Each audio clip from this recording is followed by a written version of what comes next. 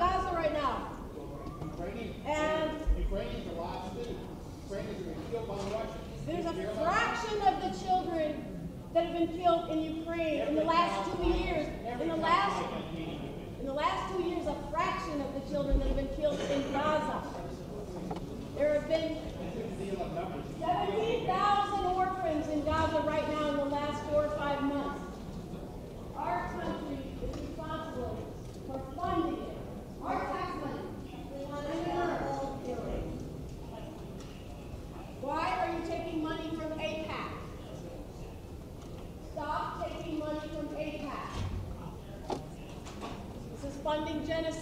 Look at these pictures. These are real children. They have lost their limbs by amputation, often without anesthesia. Hospitals, schools, mosques, bombed. 6,000 bombs in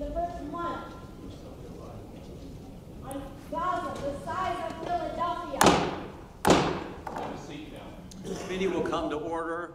Without objection, the chair is authorized to declare a recess at any time. We welcome everyone to today's hearing on the report of Special Counsel Robert Hur. The chair now recognizes the gentleman from the state of Wisconsin for the purpose of leading us in the pledge.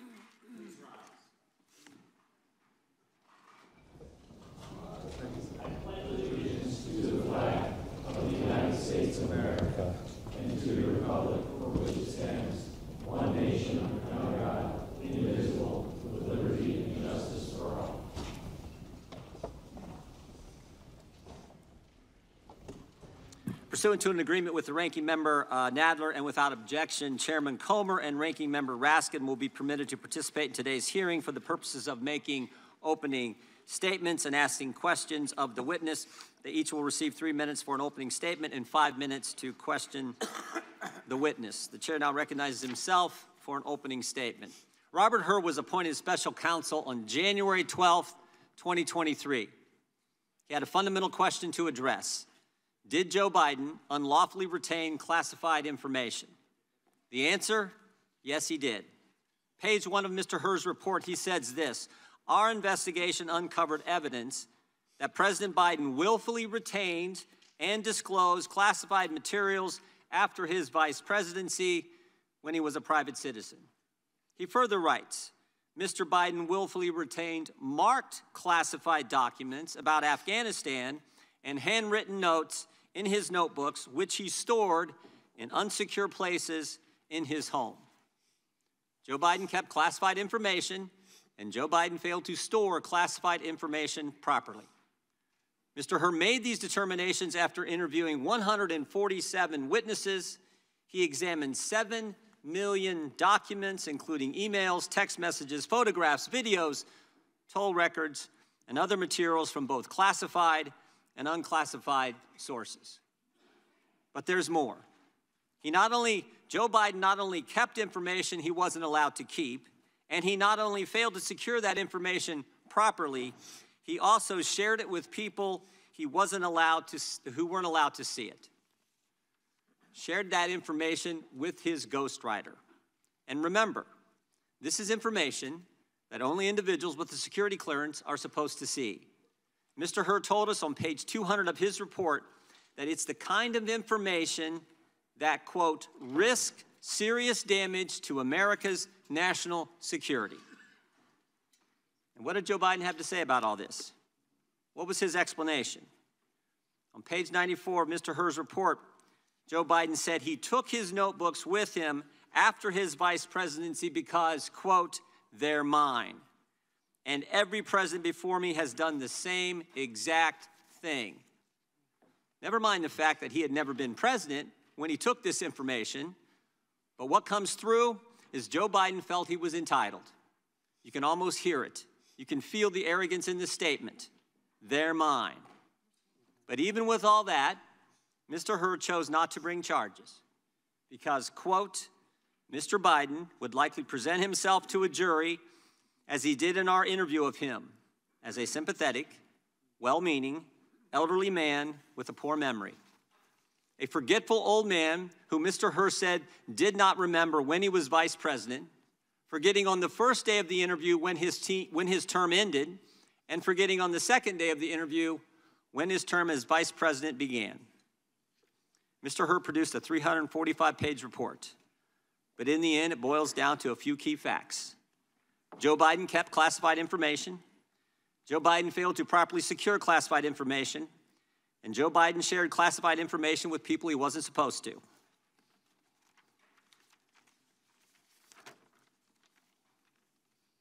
Joe Biden broke the law.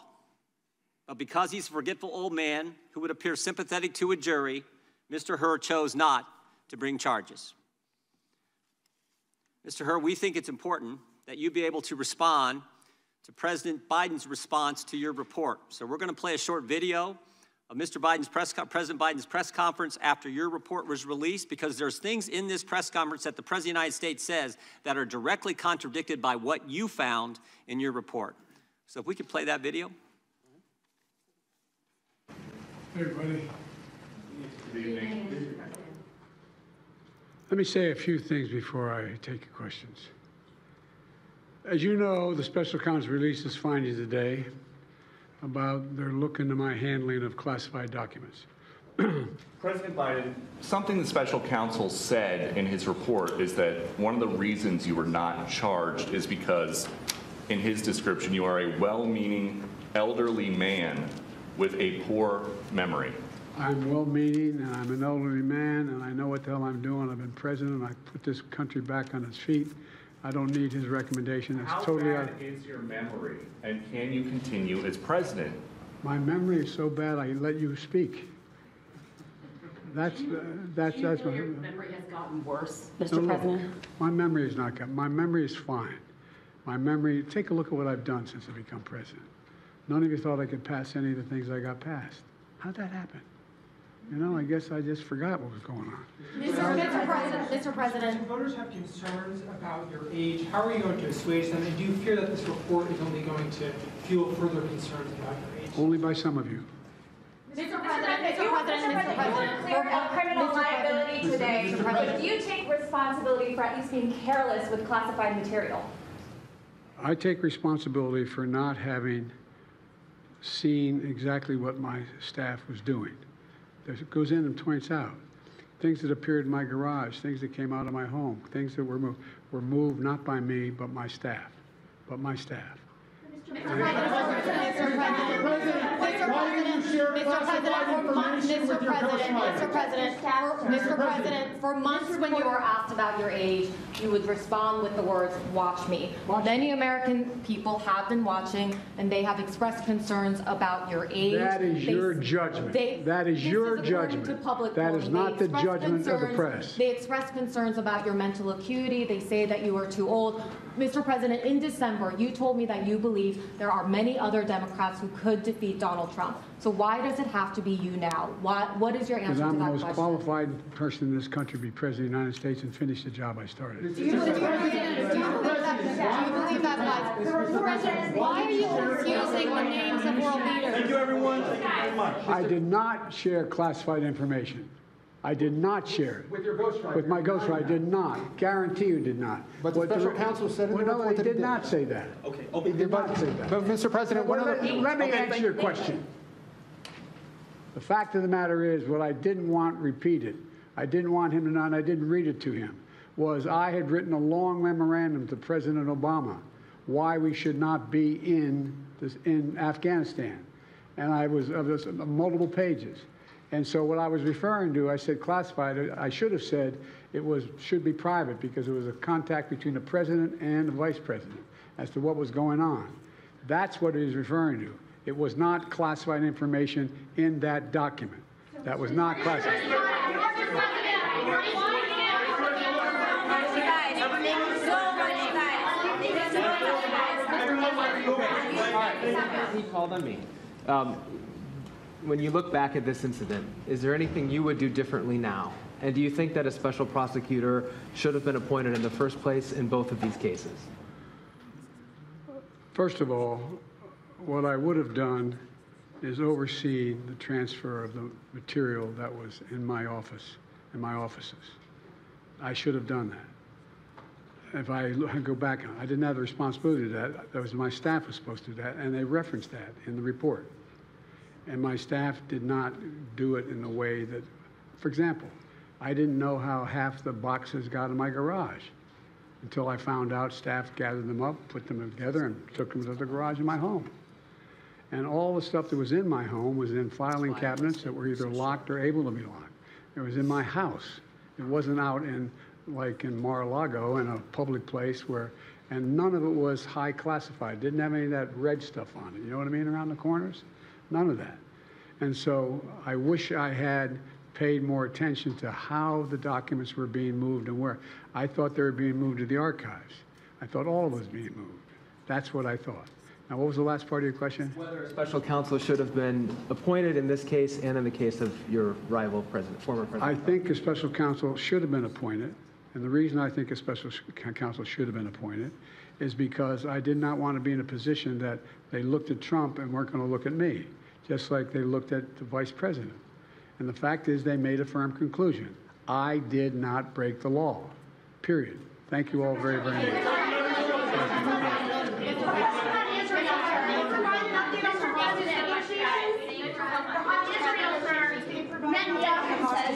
He has ordered the The hostage negotiation, look.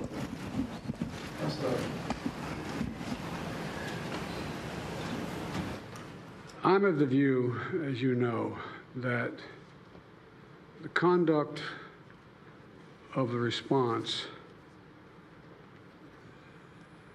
in Gaza, in the Gaza Strip has been um, over the top. I think that, uh, as you know, initially, the president of Mexico, Sisi, did not want to open up the gate to allow humanitarian material to get in. I talked to him. I convinced him to open the gate. Let them make them part of the Middle East and recognize them fully in return for certain things that the United States would commit to do. And the commitment to, that we were proposing to do related to two, two, two items. I'm not going to go in detail, but one of them was to deal with uh, um, the protection against their arch enemy to the northwest, uh, northeast, I should say. The second one, by providing ammunition and material for them to defend themselves. Coincidentally, that's the time frame when this broke out. I have no proof what I'm about to say, but it's not unreasonable to suspect that the Hamas understood what was about to take place and wanted to break it up before it happened. Thank you, everybody. We're going to need everybody to hold for a moment. Chair now recognizes the ranking member, Mr. Nadler, for an opening statement. Mr. Chairman, I'm uh, glad you have such information, uh, such admiration for the president that you allowed him to take the first 10 minutes of this hearing. Mr. Chairman, House Republicans may be desperate to convince America that white conservative men are on the losing end of a two-tiered justice system, a theory that appeals to the MAGA crowd but has no basis in reality. But your comments today make me wonder if you have read the special counsel's report at all. The Hur report does help us draw a distinction between President Biden and Donald Trump, just not the one you want. Two distinctions, actually. First, the report is clear that, quote, at no point did the special counsel find evidence that Mr. Biden intended or had reason to believe the information would be used to injure the United States or to benefit a foreign nation, close quote. With respect to the classified documents found in President Biden's possession, quote, the decision to decline criminal charges was straightforward, close quote. And with respect to the special counsel's investigation, quote, Mr. Biden turned in classified documents to the National Archives and the Department of Justice, consented to the search of multiple locations, including his homes, sat for voluntary interview, and in other ways cooperated with the investigation, close quote. President Biden acted responsibly, cooperated completely, and the decision to decline criminal justice, uh, to, to decline criminal charges was relatively straightforward. In short, to borrow a phrase from the last administration, the Hur report represents the complete and total exoneration of President Biden. And how does that record contrast with Pres- President Trump, the documents he retained, and the criminal charges pending against him in Florida? We know that Trump deliberately took large amounts of classified information from the White House. He has admitted as much, occasionally pretending that he classified this information without telling anyone on his way out the door. We know that he stored that information around Mar-a-Lago in the craziest of places, on the ballroom stage, spilled across the floor of an unlocked closet next to the toilet. We know that he showed classified military plans to an author interviewing him at Bedminster. Quote, as president, I could have declassified it, Trump says on an audio recording. Now I can't, you know, but this is still a secret. Still a secret, close quote. So much for the declassification theory. We know from the indictment that Trump is alleged to have shared these classified documents with many other visitors to Mar a Lago. And we know that, despite this outrageous conduct, the Department of Justice gave Trump every opportunity to avoid criminal charges. Again, in the special counsel's words, quote, after being given multiple chances to return classified documents and avoid prosecution, Mr. Trump allegedly did the opposite. He not only refused to return the documents for many months, but he also obstructed justice by enlisting others to destroy evidence and then to lie about it. Close quote. Why did the president charge former President Trump but not President Biden? Not because of some vast conspiracy, not because the so called deep state was out to get him, but because former President Trump was fundamentally incapable of taking advantage of even one of the many, many chances he was given to avoid those charges. Which brings me to the second distinction this report helps us draw between President Biden and Donald Trump.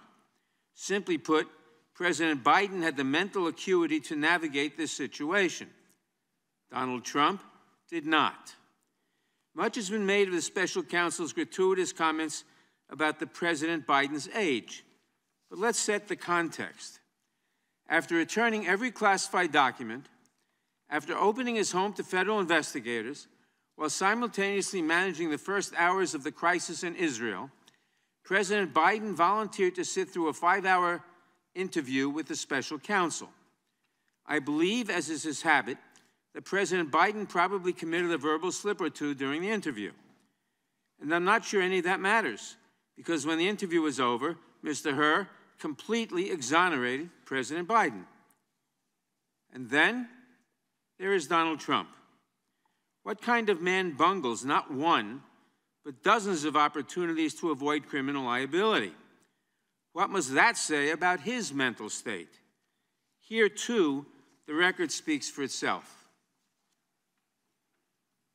One of the great memories of all time. James Webb. I don't remember the names. Don't remember the name. Viktor Orban. Did ever, anyone ever hear of him? He's the leader of Turkey. By the way, they never report the crowd on January 6th. You know, Nikki Haley, Nikki Haley is in charge of security. Three years later, later, later. How about that? Did you actually have a one-on-one with Comey then? Not much, not even that I remember. I like besitos. We have languages coming into our country. We have nobody that even speaks those languages. They're truly foreign languages. Nobody speaks them. Saudi Arabia and Russia will repeat your. Oh. I have a really good memory. Your next wife was a woman by the name of Marla Maples. That's right. Do you recall what years you were married to Ms. Maples? Um, It's called like up here, and it's called memory, and it's called other things. So you don't remember saying you have one of the best memories? I, I don't remember that. And Putin, you know, has so little respect for Obama that he's starting to throw around the nuclear war. word. You heard that nuclear. We have to win in November, or we're not going to have Pennsylvania. They'll change the name. I talked to Putin a lot. How much did you ask him for? Did you ask him that? I don't remember that. I, you know, I saw that this morning. I don't remember asking him that question. I have a good memory and all that stuff, like a great memory. For 20 years, they were fighting ISIS. I defeated ISIS in four weeks. And we did with Obama. We won an election that everyone said couldn't be won. I'm not cognitively. And you know what? When I am, you're going to know it. You're going to be the first people. I know my people. You'll say, all right, Trump, you did a good job. Get the hell out of here. That's it.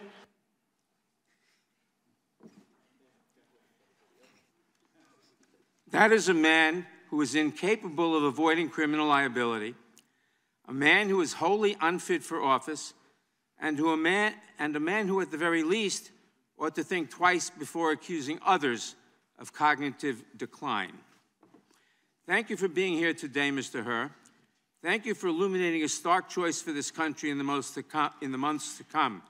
I look forward to your testimony, and I yield back. Gentleman yields back. The chair now recognizes the chairman of the Oversight Committee, Mr. Comer, for an opening statement. Thank you. In August 2022, President Biden questioned in a 60 Minutes interview how anyone can be that irresponsible when asked about classified documents in the possession of former President Trump. But when President Biden said this, he knew that he had stashed classified materials in several unsecured locations for years, dating back to his time as vice president and even as a U.S. Senator. President Biden, the White House, and his personal attorneys have not been honest with the American people about his willful retention of classified material and continue to hide information from Congress. President Biden's attorneys claim to have first discovered classified material at Penn Biden Center on November 2, 2022.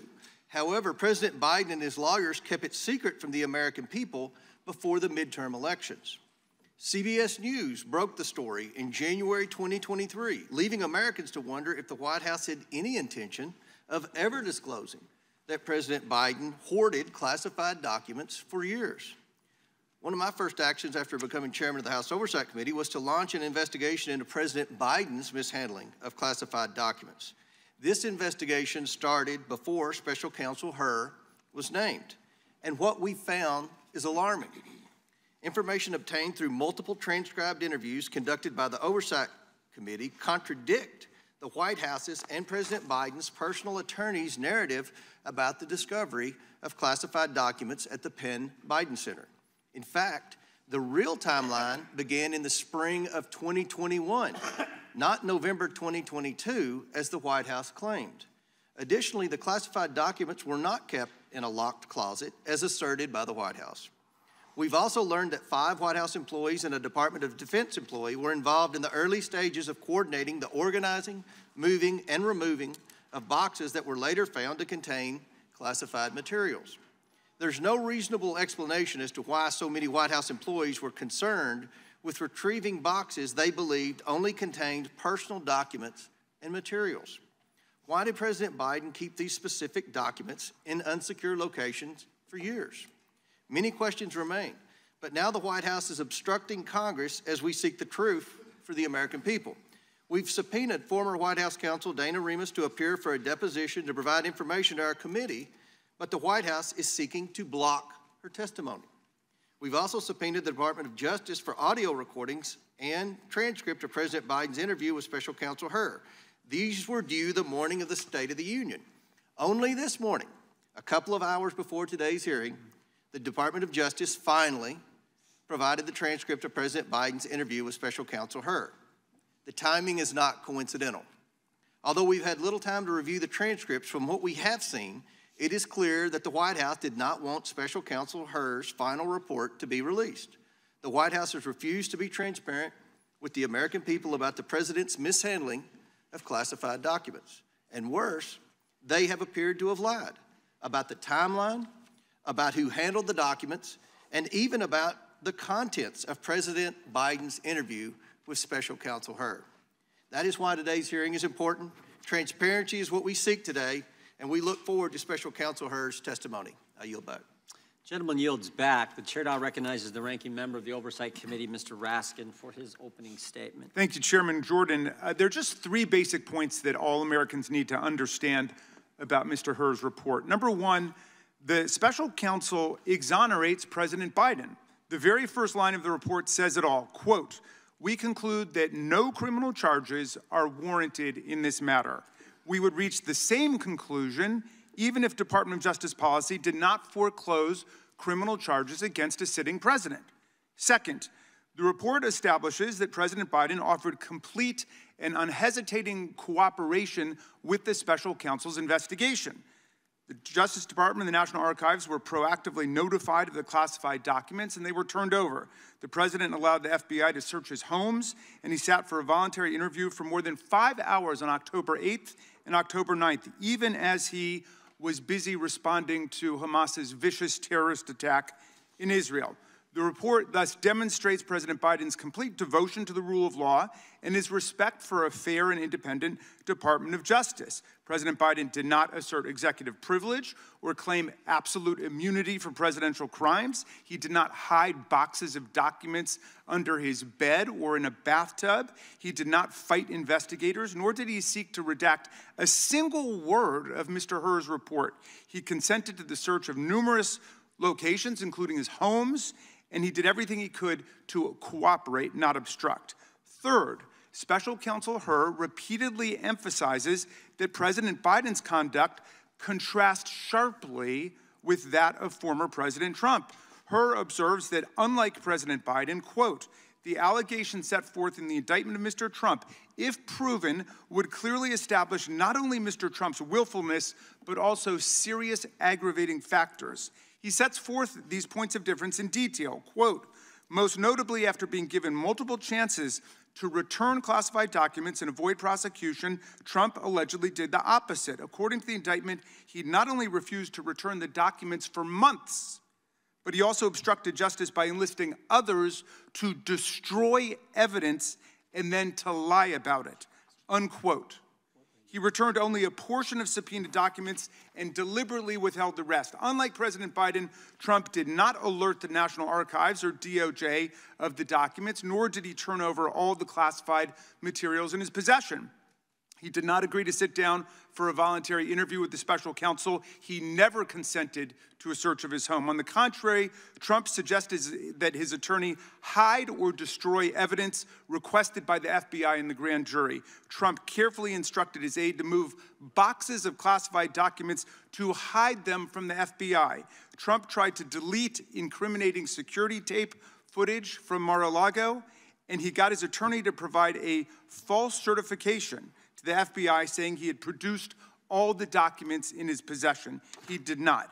Given that this report is so damning in the contrast between Biden and Trump, it is hard for me to see why our colleagues think that this hearing advances their flailing and embarrassing quest to impeach the President of the United States.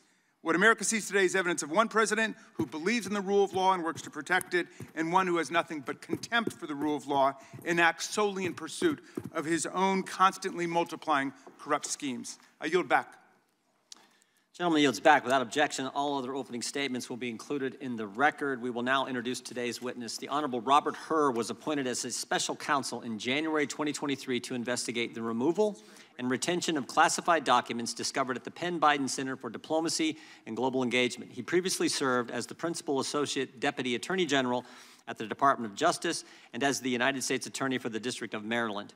He was a law clerk for Chief Justice William Rehnquist and also clerked for Judge Alex Kozinski on the Ninth Circuit Court of Appeals. We welcome our witness and thank him for appearing today. We will begin by swearing you in. Mr. Hur, would you please stand? Raise your right hand. Do you swear or affirm under penalty of perjury that the testimony you're about to give is true and correct to the best of your knowledge, information, and belief, so help you God? Let the record reflect that the witness has answered in the affirmative. Uh, thank you, and you can be seated. Please know that your written testimony will be entered into the record in its entirety. Accordingly, we ask that you summarize your testimony. Mr. Hur, you, you may begin with your opening statement. Make sure you got that, make sure you got that mic on if you could, Mr. Hur. Thank you. Thank you, Chairman. Chairman Jordan, Ranking Member Nadler, Chairman Comer, Ranking Member Raskin, members of the committee, good morning. I'm privileged to have served our country for the majority of my career, a decade and a half, most of those years with the Department of Justice. I have served as a line prosecutor, a supervisor, the Principal Associate Deputy Attorney General, a United States Attorney, and a Special Counsel. I've served in these roles with gratitude as the son of immigrants to this country, the first member of my family to be born here. My parents grew up in Korea and were young children during the Korean War. My father remembers being hungry and grateful for the food that American GIs shared with him and his siblings. My mother fled what is now North Korea in her own mother's arms, heading south to safety. My parents eventually met, married, and came to the US seeking a better life for themselves and for their children. Their lives and mine would have been very different were it not for this country. No matter the role, no matter the administration, I have applied the same standards and the same impartiality. My respect for the Justice Department and my commitment to this country are why I agreed to serve as special counsel when asked by the Attorney General. I resolved to do the work as I did all my work for the department, fairly, thoroughly, and professionally, with close attention to the policies and practices that govern department prosecutors. My team and I conducted a thorough, independent investigation. We identified evidence that the president willfully retained classified materials after the end of his vice presidency when he was a private citizen. This evidence included an audio recorded conversation during which, during which Mr. Biden told his ghostwriter that he had, quote, just found all the classified stuff downstairs, end quote. When Mr. Biden said this, he was a private citizen speaking to his ghostwriter in his private rental home in Virginia. We also identified other recorded conversations during which Mr. Biden read classified information aloud to his ghostwriter. We did not, however, identify evidence that rose to the level of proof beyond a reasonable doubt. Because the evidence fell short of that standard, I declined to recommend criminal charges against Mr. Biden. The department's regulations required me to write a confidential report explaining my decision to the Attorney General. I understood that my explanation about this case had to include rigorous, detailed, and thorough analysis. In other words, I needed to show my work, just as I would expect any prosecutor to show his or her work explaining the decision to prosecute or not. The need to show my work was especially strong here the Attorney General had appointed me to investigate the actions of the Attorney General's boss, the sitting President of the United States.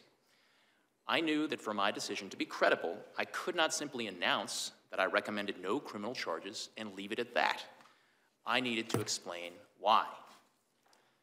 My report reflects my best effort to explain why I declined to recommend charging President Biden. I analyzed the evidence as prosecutors routinely do by assessing its strengths and weaknesses, including by anticipating the ways in which the president's defense lawyers might poke holes in the government's case, if there were a trial, and seek to persuade jurors that the government could not prove his guilt beyond a reasonable doubt. There has been a lot of attention paid to language in the report about the president's memory, so let me say a few words about that. My task was to determine whether the president retained or disclosed national defense information willfully that means knowingly and with the intent to do something the law forbids. I could not make that determination without assessing the president's state of mind.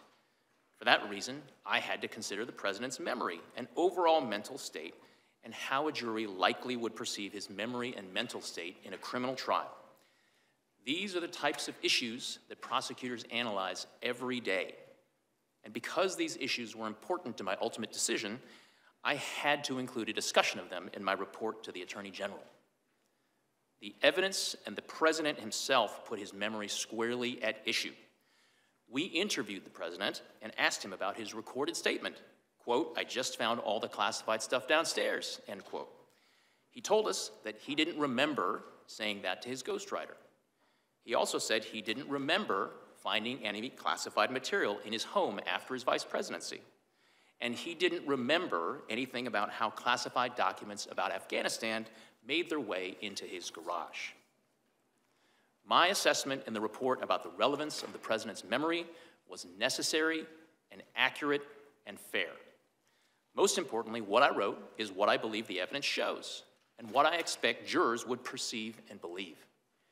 I did not sanitize my explanation, nor did I disparage the president unfairly I explained to the Attorney General my decision and the reasons for it.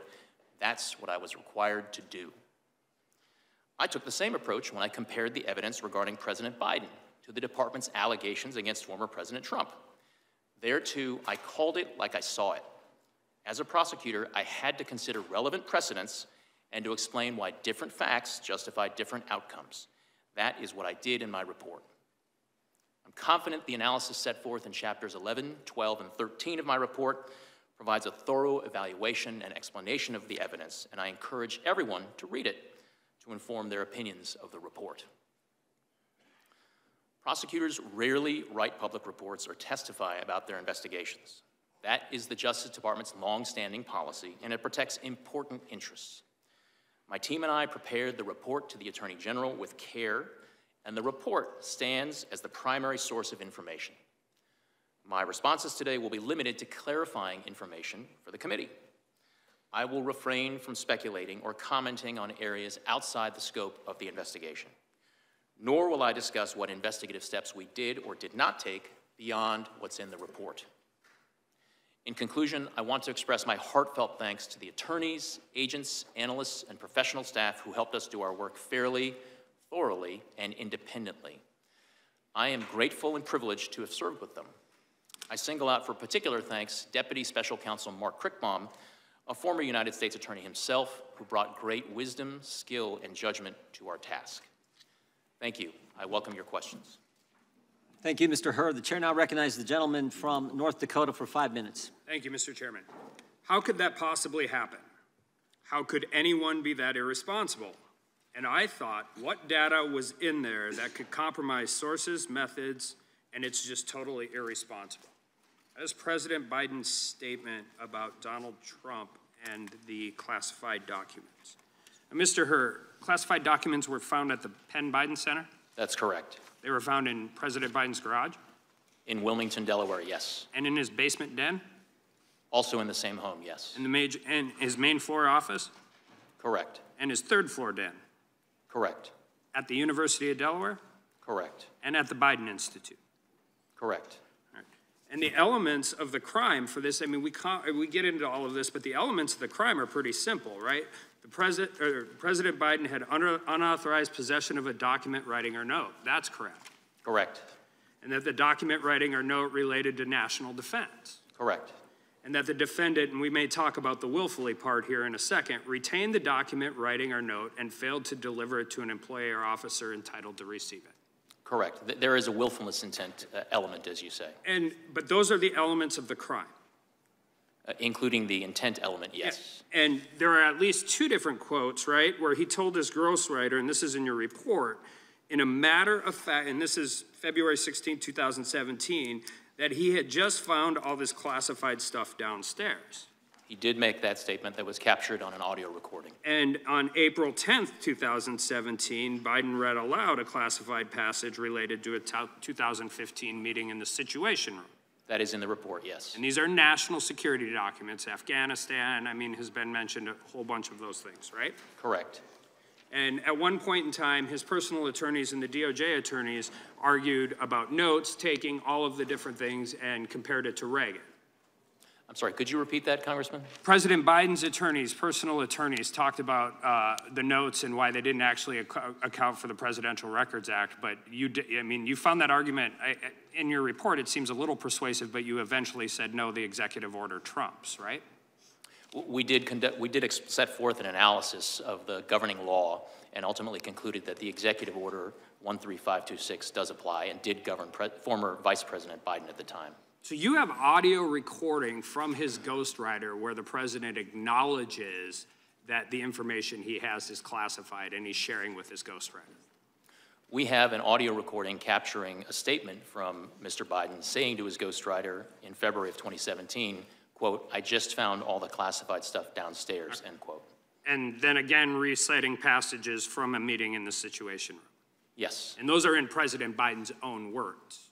Correct. Right. So he's and the ghostwriter has no classified. No, he, he has no cl clearance, no classified clearance to anything, correct? That is our understanding that Mr. Zwonitzer was not authorized to receive classified information. Okay, so the elements are possessed documents, the documents related to national defense, and willfully retained those documents, and in this case, shared them with somebody who was not allowed to receive them. There are different subsections of 18 U.S.C. 793. One subsection relates to the willful retention, and another relates to disclosure of national defense information. Well, I mean, the willful retention, we've got the Penn Biden Center, the garage, the basement den, the main floor office, the third floor den, the University of Delaware, and the Biden Institute. We have 50-year career of a person who has not been very great at dealing with classified documents throughout, even prior to his time as vice president, when he was in the U.S. Senate, right? We do address each set of those documents in the report, Congressman. So the difference, but I- think this is really important because the difference is it appears just from reading the report, he has, and we heard all about exonerated and all of those different things. It appears from the report he met every actual element of the crime. So I want to talk about uh, the department principles on federal prosecution because that actually has nothing to do with the underlying elements, correct? It's whether or not you can prove this at trial. Under the Department's uh, Justice Manual and the principles of federal prosecution, a prosecutor has to assess the evidence and determine whether, in his or her judgment, the likely, uh, the probable outcome will be a conviction at trial.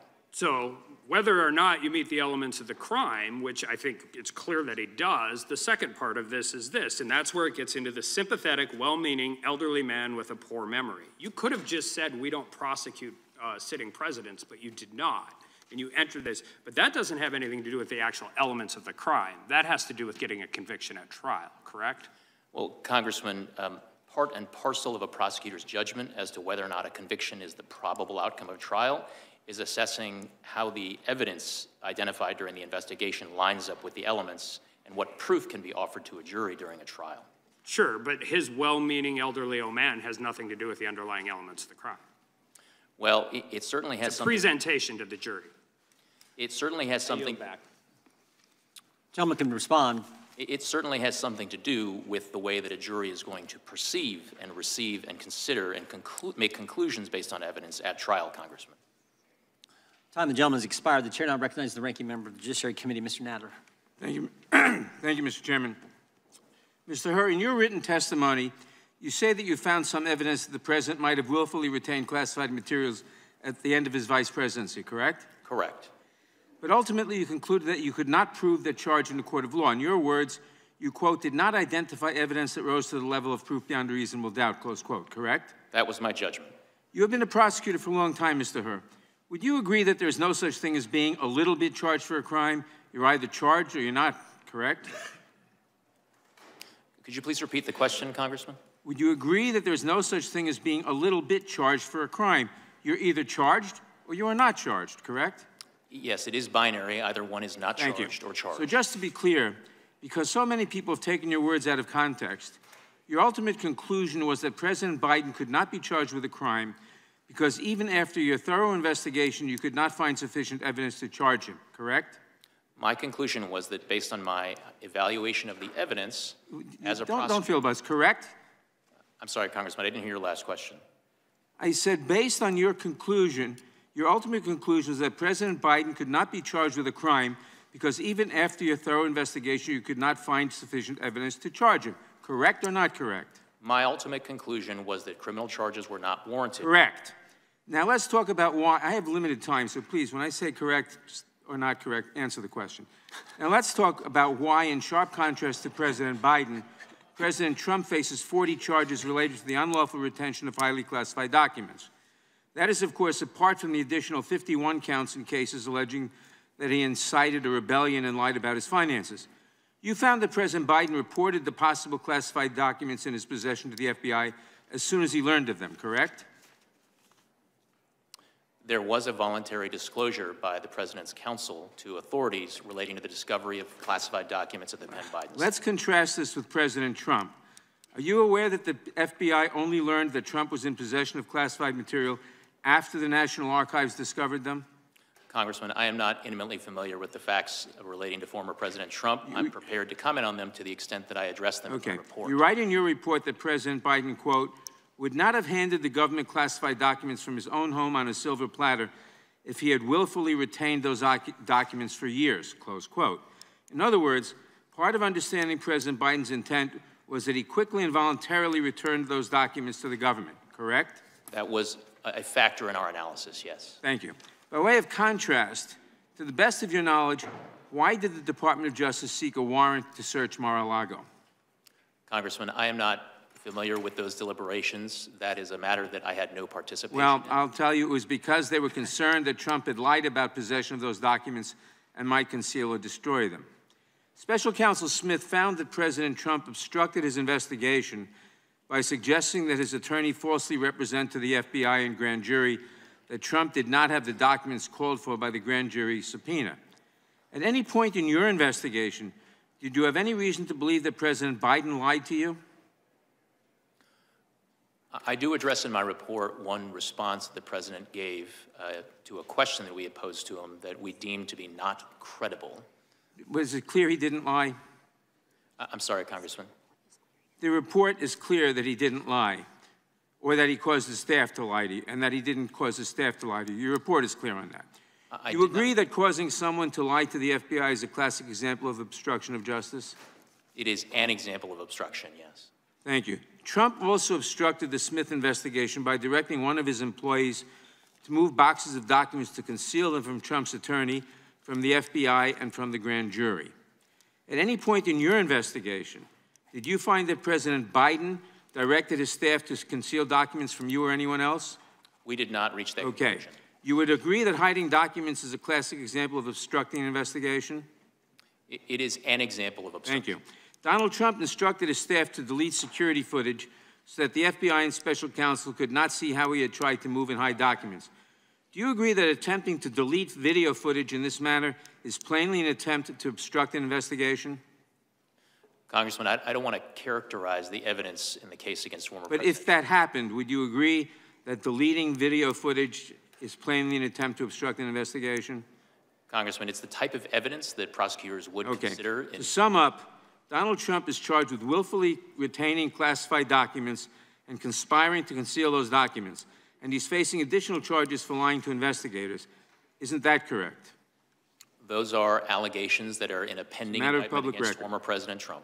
And the reason why President Biden is not facing a single charge, Mr. Hur, is not because you went easy on him, but because after reviewing 7 million documents and interviewing nearly 150 witnesses, including the president himself, you could not prove that he had committed a crime. I yield back. Gentleman yields back. The gentleman from, uh, Mr. McClintock, gentleman from California is recognized. Thank you, Mr. Hur. I first want to get this straight. Is it now okay if I uh, take home top secret documents, store them in my garage, and read portions of them to, to friends or associates?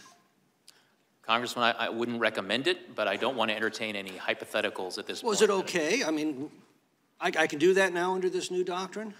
Again, Congressman, I, I wouldn't recommend that you do that, but um, I Well, you, wanna- you've, you, you, you've essentially said so in your report. Uh, and, and certainly it would be exculpatory if I, if I simply told you, hey, I'm, I'm getting old, I don't remember stuff the way I used to. Congressman, I, I'm not here to get into hypotheticals. I'm here to talk about the facts and the work that I did It was the not a hypothetical, this is the issue at hand.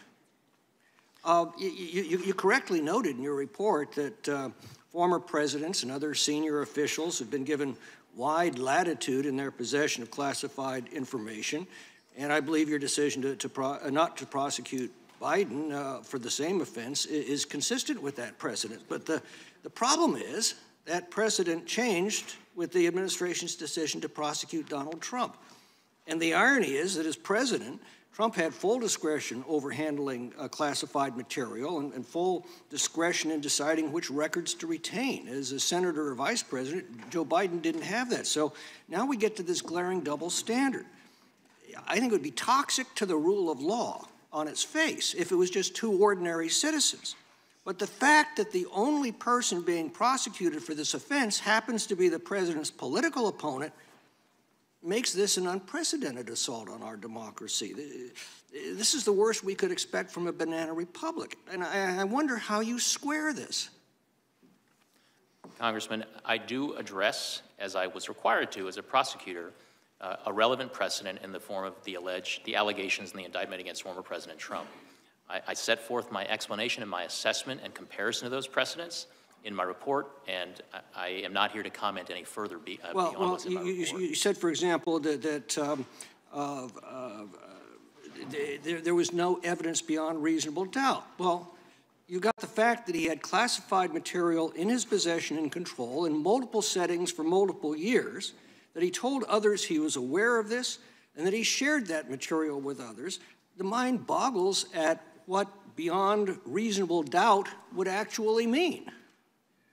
Well, as I set forth in, at length in my uh, explanations in chapters 11 and 12 of the report, my assessment is that the evidence, if presented at trial alongside potential defense arguments, would not probably result in a conviction at Well, that's one of the points you make, is that President Biden's likely to be an elderly, sympathetic uh, a figure with a poor memory.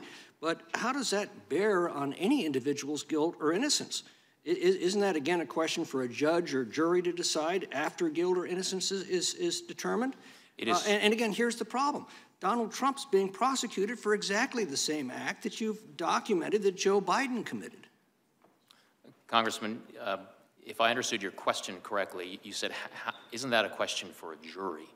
And it most certainly, in the, through the lens of My, my, my question is, does that bear on the guilt or innocence of an individual? it certainly bears on how a jury is going to receive and perceive and make decisions. So the answer to my earlier question is correct. All I have to do when I'm caught taking home uh, classified materials to say, I, I'm sorry, Mr. Herbert, but I'm getting old. My memory's not so great.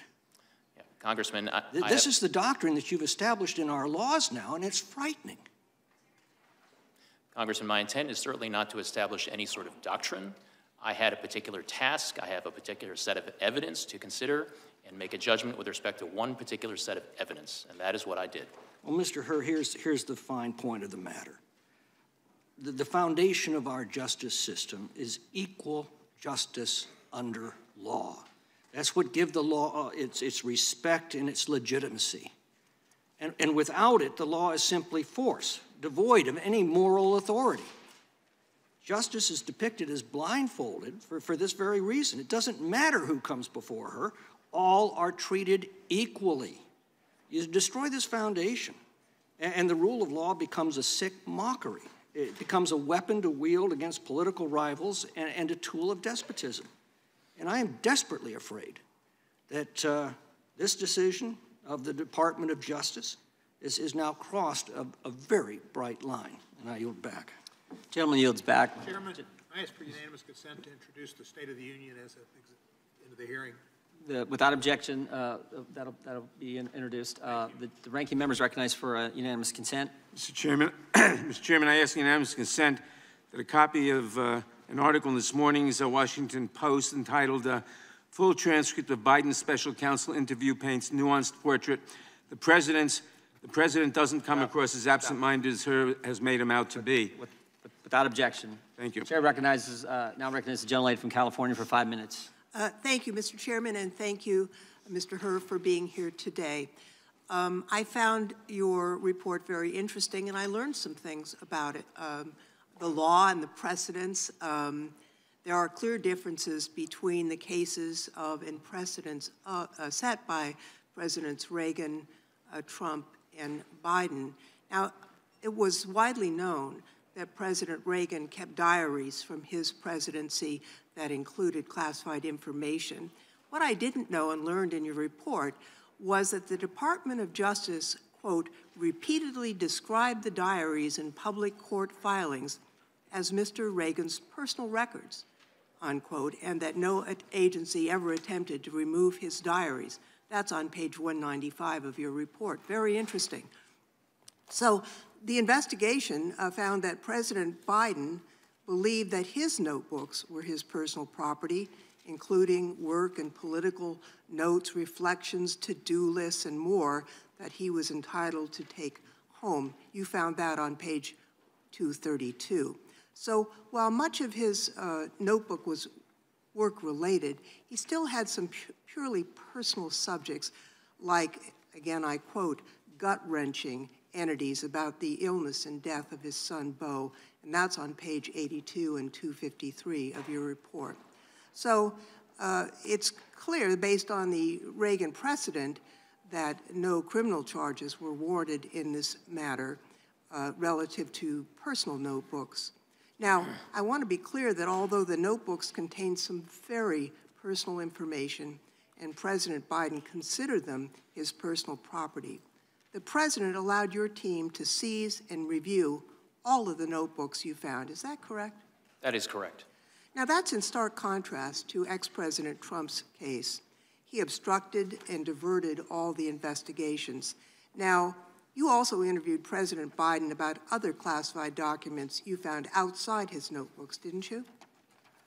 Yes, Congresswoman. So, did the president tell you that he believed any documents other than his own handwritten work were his personal property? Yes or no? We did not hear that from the president during his interview. So again, it's very different from ex-President Trump.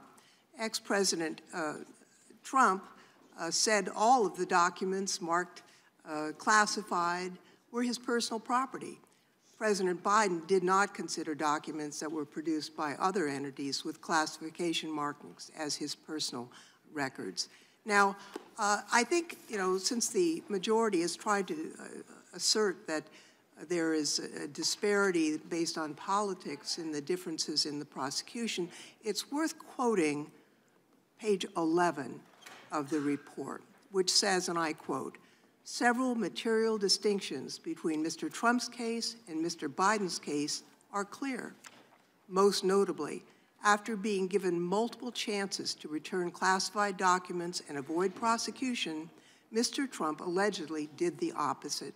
According to the indictment, he not only refused to return the documents for many months, but he also obstructed justice by enlisting others to destroy evidence and then to lie about it. That's on page 11.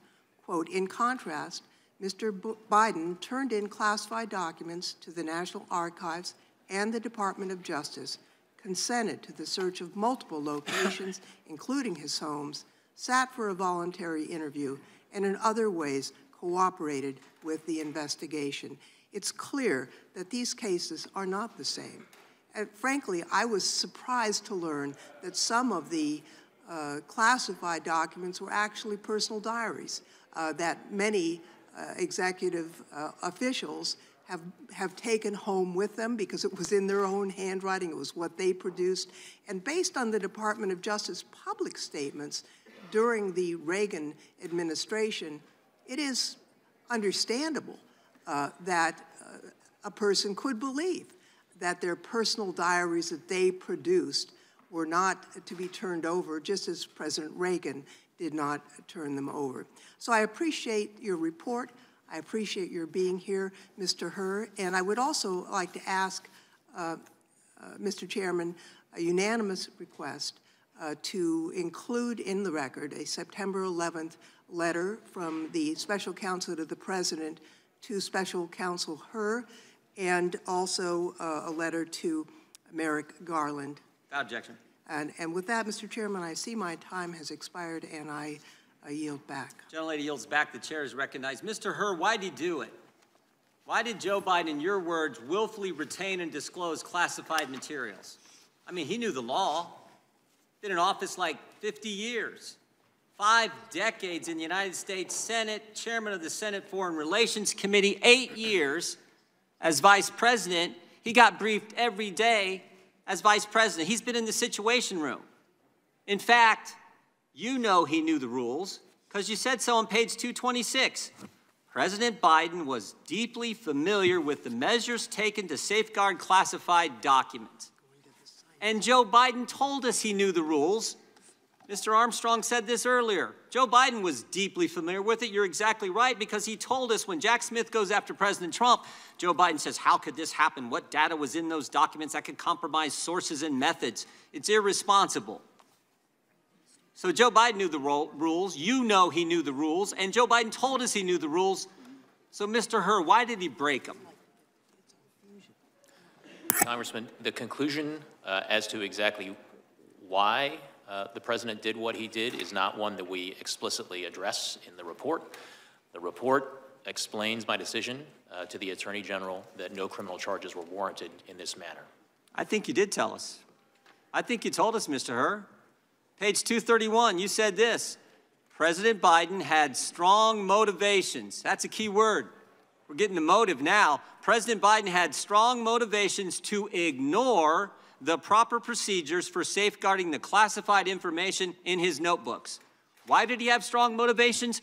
Because, next word, because he decided months before leaving office to write a book. To write a book, that was his motive. He knew the rules, he broke them because he was writing a book. And you further say, and he began meeting with the ghostwriter while he was still vice president.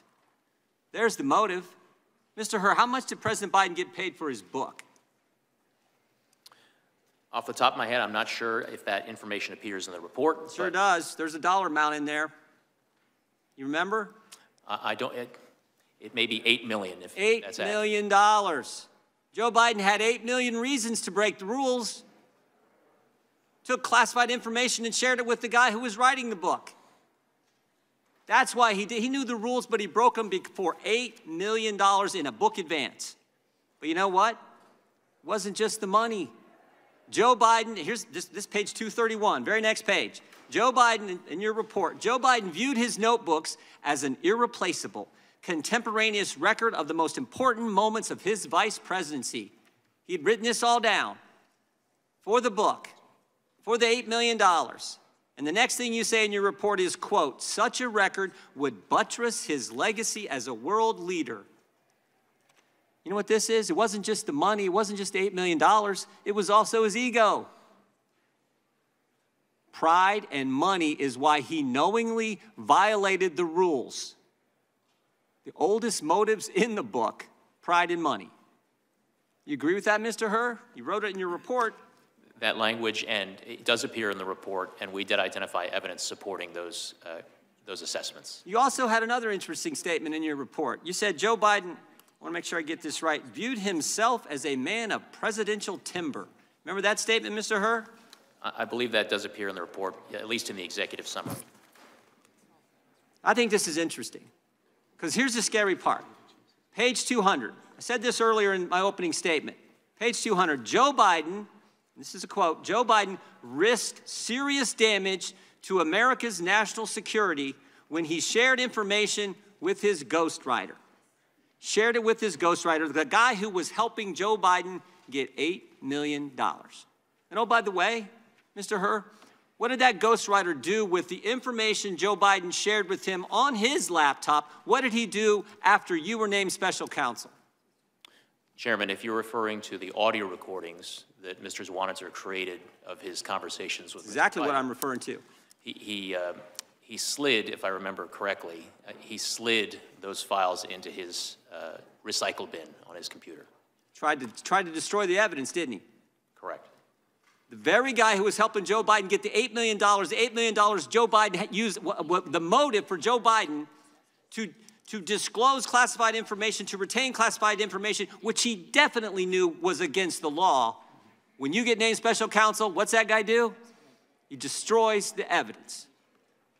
That's the key takeaway in my mind. That's the key takeaway. I yield back. From, is it Mr. Raskin? Gentleman from Maryland for five minutes. Thank you, Mr. Chairman. Uh, Mr. Hur, your report starts with the line, we conclude that no criminal charges are warranted in this matter. Uh, have you had any reason to change your opinion about that? No, Con- no, Ranking Member. You highlight the independence and support you got from the Attorney General and DOJ. Have you changed your mind about that? I have not.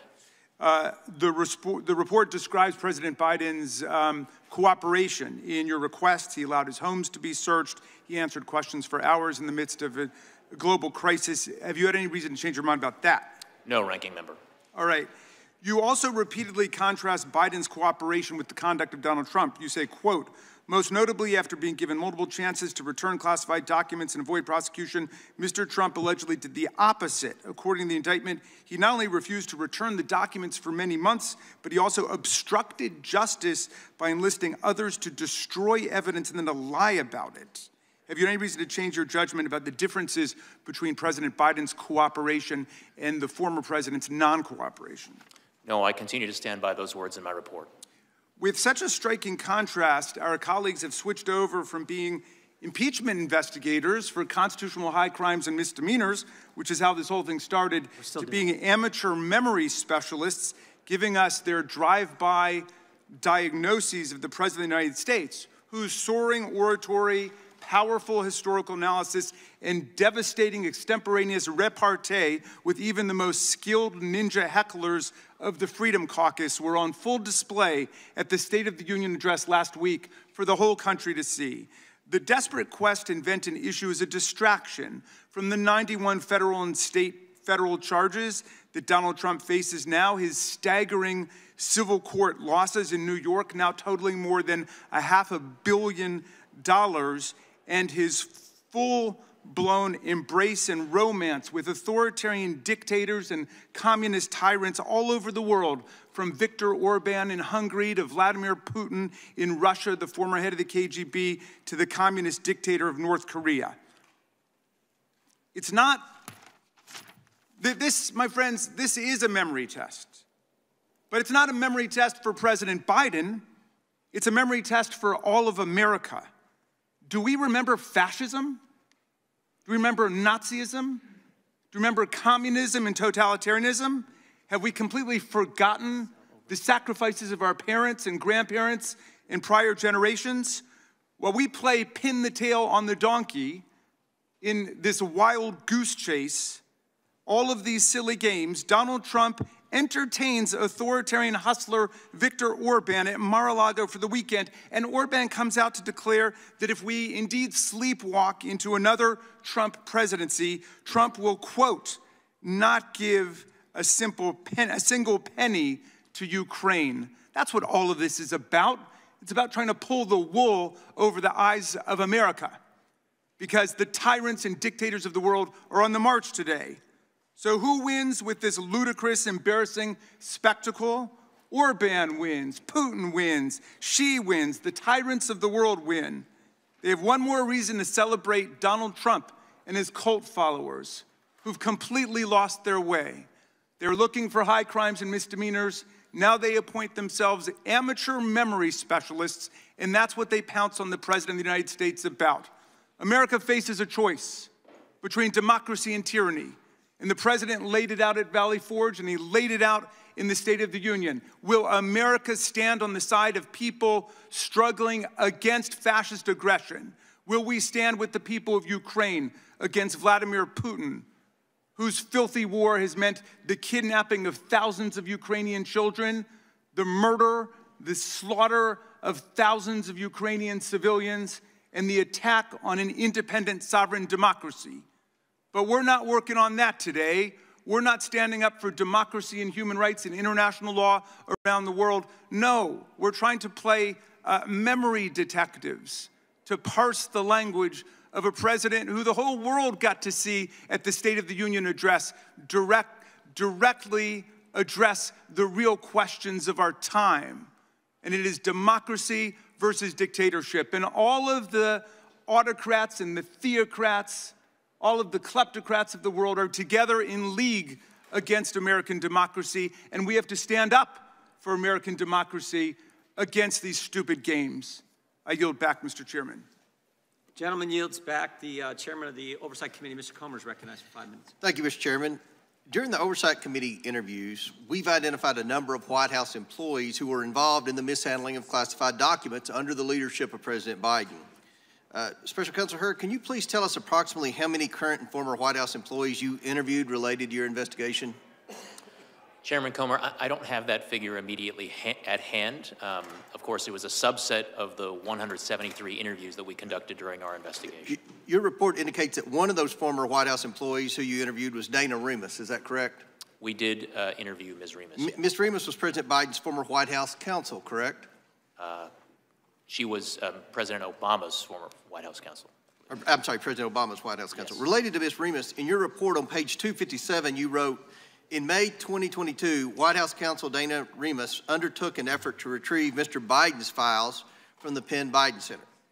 Remus described the original purpose of that effort as gathering materials to prepare for potential congressional inquiries about the Biden family's activities during the period from 2017 to 2019.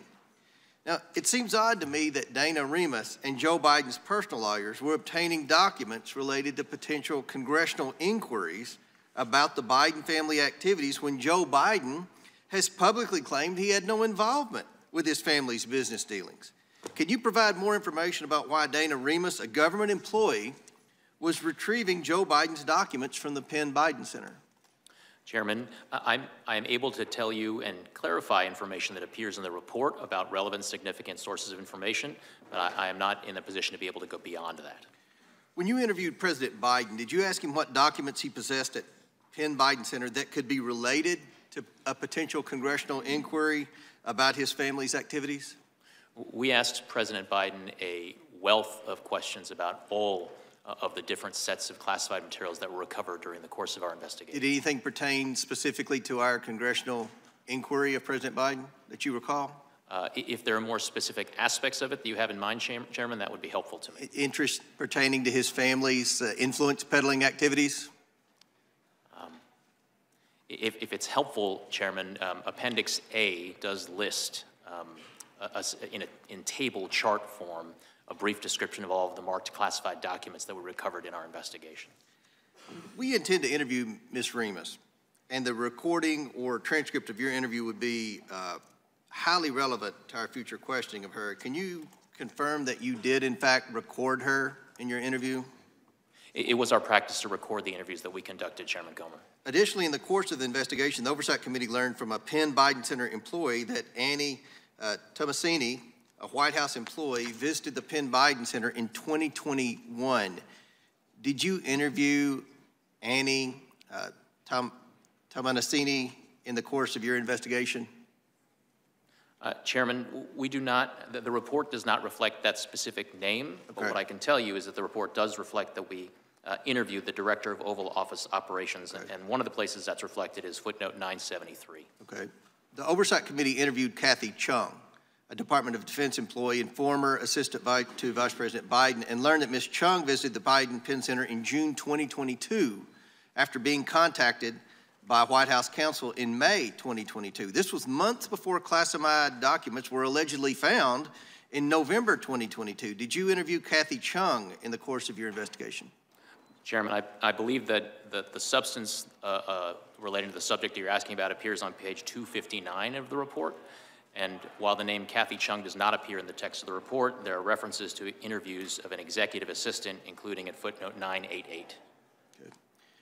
The Oversight Committee also learned from its interviews with Penn Biden Center employees and Kathy Chung that Dana Remus, uh, Anthony uh, Bernal, and Ashley Williams, all at the time White House employees, then visited the Penn Biden Center on different occasions before the alleged discovery of classified materials in November 2022.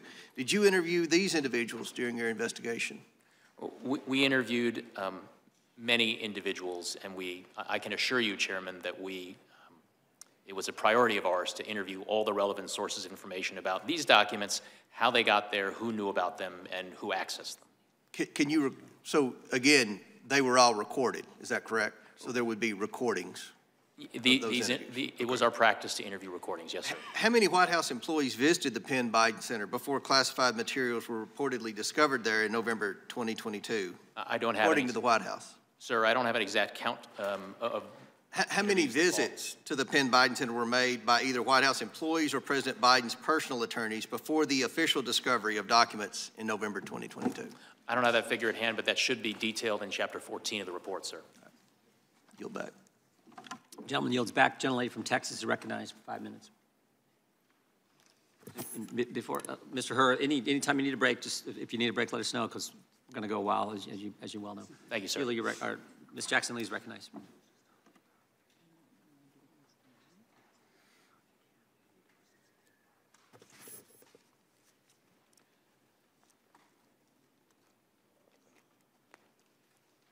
Mr. Hur, good morning.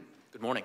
The Republicans here asked for a lot of transcripts, but Chair Jordan has yet to release 90-plus transcripts from our interviews uh, when, with those, if they are to be released to the American people, is the question.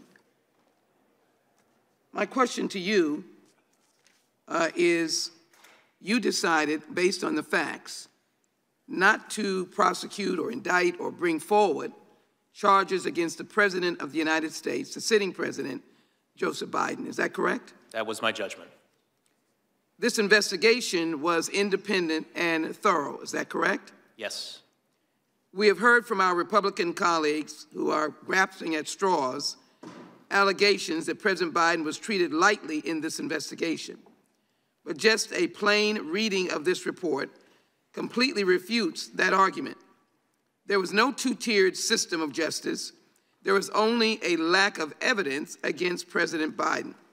Mr. Hur, your office and the FBI undertook an extensive investigation into Mr. Biden's handling of classified information and of the classified documents the FBI seized, correct? Correct. In your investigation, you conducted 173 interviews of 147 witnesses, correct? That is correct. And President Biden himself was one of those witnesses, correct? Correct. For at least five hours or more. Correct. And President Biden uh, engaged in this interview voluntarily. Correct.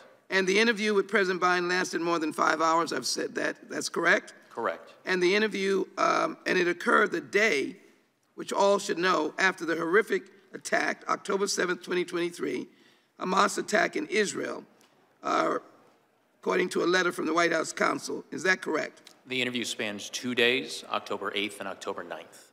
With the president having to be in and out to deal with an inter international crisis, and after the interview, he provided handwritten answers to additional questions, correct?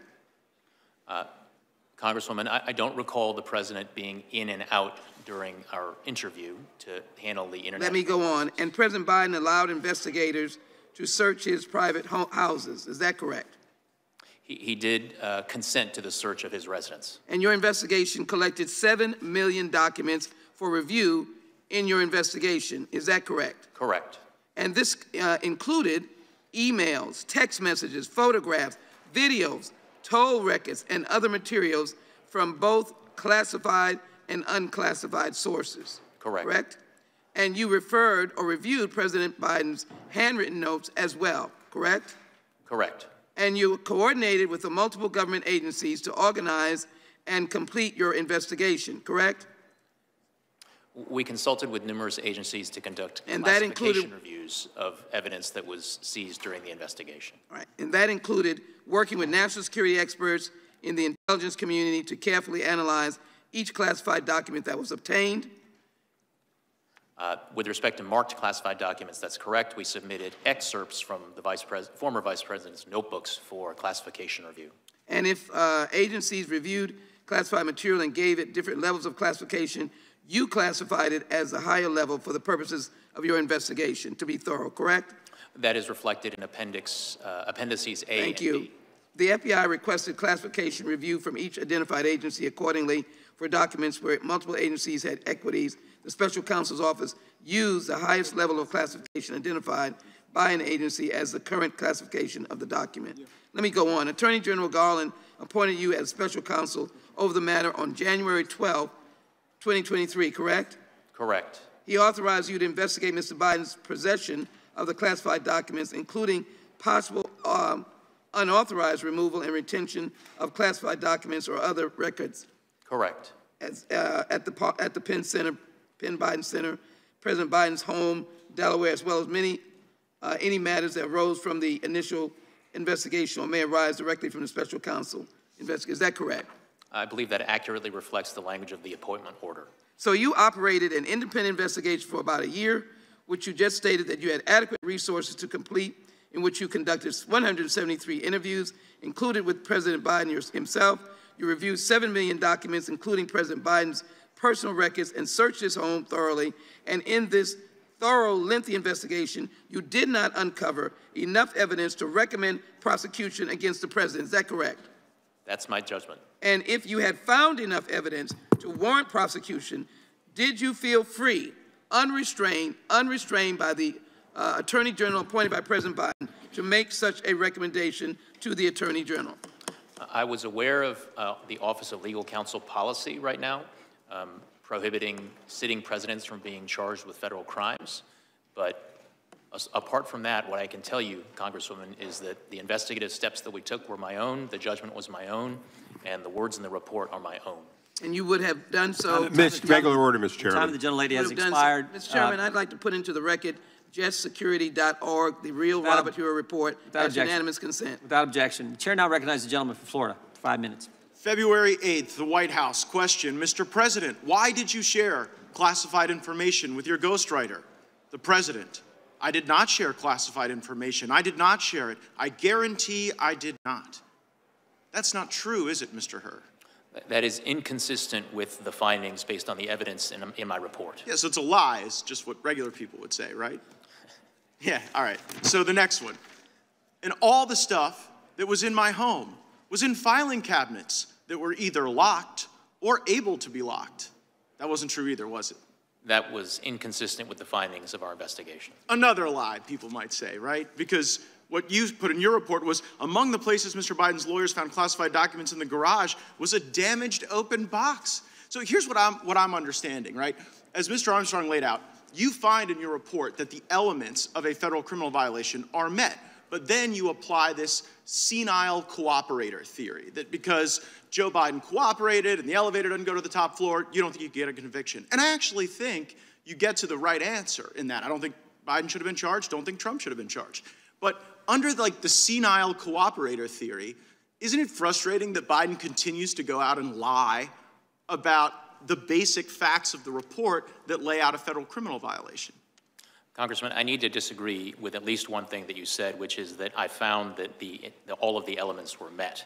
One of the elements of the relevant mishandling statute is the intent element, and what my report reflects is my judgment that based on the evidence, I would not be able to prove beyond a reasonable doubt to a jury that that intent element had been Right, met. but the reason you have that doubt is the, is the senile cooperator theory. The fact that Joe Biden is so inept in responding that you can't prove the intent, which again, I don't quibble with that conclusion, but it's frustrating to be like, oh, well, this guy's not getting treated the same way as Trump because the elevator's not going to the top floor, so we can't prove intent. While at the same time, Biden goes out there at the White House and says, well, you know, he just, he, just, he just blatantly lies. And what I'm trying to figure out is whether or not Biden's lying because he's still so senile, he hasn't read your report, or whether it's a little craftier and a little more devious and perhaps a little more intentional than we might otherwise think. So I, also want to go to this Biden Penn Center.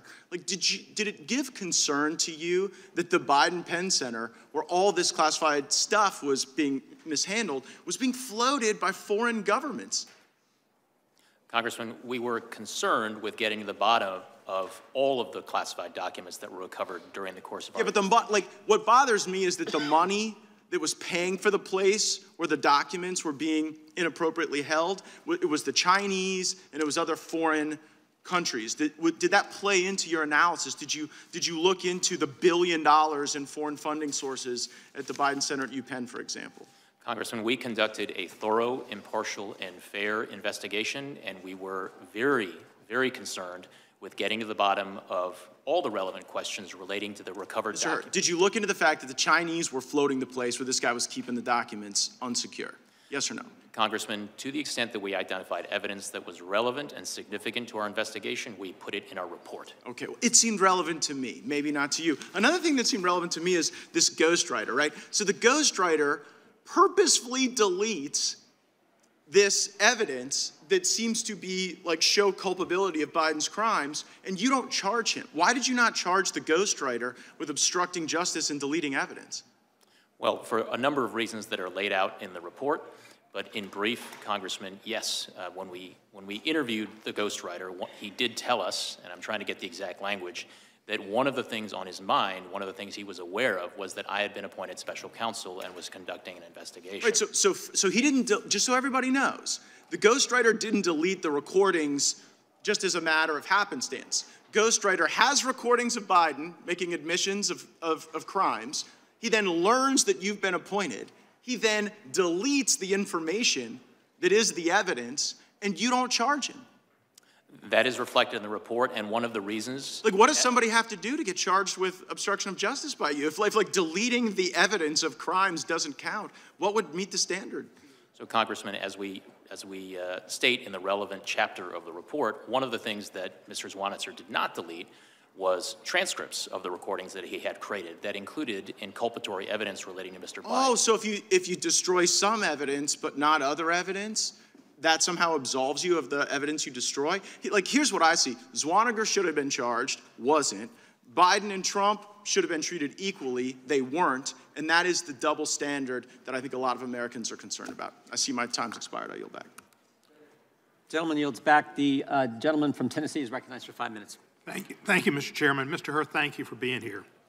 A little confused about this hearing. Mr. Raskin laid out the big picture, what we should be concerned about, but in the more limited picture, Um, Doc, Director Mueller had an investigation. He's our most famous recent special prosecutor, and he found sufficient evidence to say there was a connection between Russia and the Trump campaign.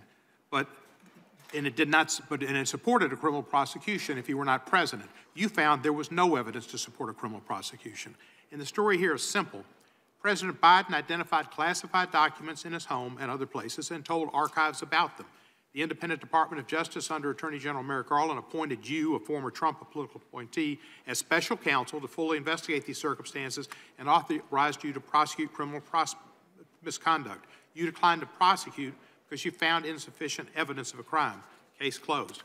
Uh, it makes really a perfect case. You did your job, Mr. Garland did his job, and unlike Mr. Barr, he didn't interfere. Did Mr. Garland ask you to change your, your report at all? He did not, sir. Didn't redact a thing? No, sir. Like Mr. Barr did, he redacted everything and made the Mueller report look like 180 degrees different than what it was. Mr. Garland did right, and you did right, and I commend each of you. The Department of Justice is independent and allows the special counsels to investigate and prosecute the facts if, if it's supported. Joe Biden's actions in handling of classified materials is similar to most other former presidents and vice presidents. The exception is Donald Trump. So let's start with some yes or no questions. Did you receive any pressure from Mr. Garland or his staff to make any spe specific factual finding or legal conclusion? No. Did you receive the resources necessary to carry out your duties? Yes. Do you have any reason to believe that you were treated differently with regard to independence or resources than other DOJ special prosecutors? No. Based on your experience as special counsel, do you have any reason to believe the Attorney General was improperly directing, pressuring, or interfering with Jack Smith or his work? I, I have really, I do not have the basis to answer that question. But your declination, uh, which we treat as thoughtful and apolitical, uh, we should treat prosecutorial decisions by Jack Smith the same way, to the best of your knowledge. Again, I, I, really do not have the sufficient information with respect to Jack Smith's investigation to provide any comment on it. Let me ask you this. If, if, if President Biden, in his testimony to you, knew the exact date, January 20, whatever it was, 2009, when he became vice president, and the day when he left being vice president, uh, January the 20th, uh, I guess the first would have been January 20th again, 2009, and then January 20 and 2017. If he knew those dates exactly right, and if he knew the exact date and the instant that, that Beau Biden died, uh, would that have changed your decision to, to not to, uh, to bring a prosecution? Sir, I cannot engage in hypotheticals about what my decision would have been with different facts. What I did was to make a decision based on the facts and the circumstances that I was presented with, and we did identify during our investigation. But it, it appears to me, and I think it would appear to the American public, that these minor discrepancies, as far as dates and after a long period of time, was not the basis. It was not, not the basis for your decision to decline to prosecute. It was the fact that you didn't have the facts, that he acted differently than Trump, that he voluntarily provided the documents, that he complied with the Justice Department, that he didn't try to obstruct justice. Those were the reasons you didn't prosecute him, not because he missed a few dates. Congressman, my reasons for my declination decision are set out in my report, and I stand by the words in the report, sir. Well, thank you. And I think I'm encompassing them in my, in my, what I'm saying to you is that there was not anything to do with his memory why he wasn't uh, chosen to be uh, you chose not to indict him. It was the difference in the facts in the case and how he dealt with it. The fact is, um, Mr. Biden sat through five hours, and he did an admirable job. And he did an outstanding job in the State of the Union, laying out the case for the future of America, for, for the middle class, for, the free, for democracy around the world, for standing up to the Russians, not bend, bending down to them. That's what's important. Not if you can be like on the $64,000 question, assuming it was legit, and answering every single question correctly. That's not what you need to be president. To be president, you need to have values. You need to have understanding of what values America has and needs to maintain to keep the world safe and peaceful. That's dealing with Ukraine. That's dealing with difficult people like Netanyahu in Israel to try to get something done that's correct. That's what Joe Biden does, and understanding Social Security and Medicare. Medicaid are important institutions that help seniors, not senile people. I mean, I really object to that comment. People, he's not. Nobody suggests he's senile, and that's disrespectful of senior people with any kind of memory disability. Lots of seniors have memory disability, but they're not senile, and to do such was shameful. Joe Biden is a competent, good president who knows American values. I, I Turn. Gentleman's time has expired. Gentleman yields back. Gentleman from California is recognized for five minutes. Thank you, Mr. Chairman. Mr. Hur, I'd like to start off by, by thanking you for a year of hard work and a comprehensive report. Um, I'm going to try not to provide testimony, as some people on both sides are, or provide conclusions, but I do have some questions that lead me to, uh, to ask you for conclusions. Uh, One question is, uh, are, were there notes of the, uh, of the President of the United States that dated back to when he was a senator that contain classified information? Uh, among the documents that were recovered during our investigation were uh, marked classified documents that dated back to when Mr. Biden was a senator. When he was in his 30s, 40s, 50s? I believe that's correct. Uh, and uh, were there uh, documents from the time that he was vice president? Yes. Okay. Uh, so there's been a lot to do about, you know, senility, non-senility, poor memory, and so on. Uh, but let's just go through something that you deal with as a prosecutor every day. You first start off with a set of initial evidence that indicates there may have been a crime. Is that right? It, by the time it gets to you, usually you have some evidence that there may have been a crime.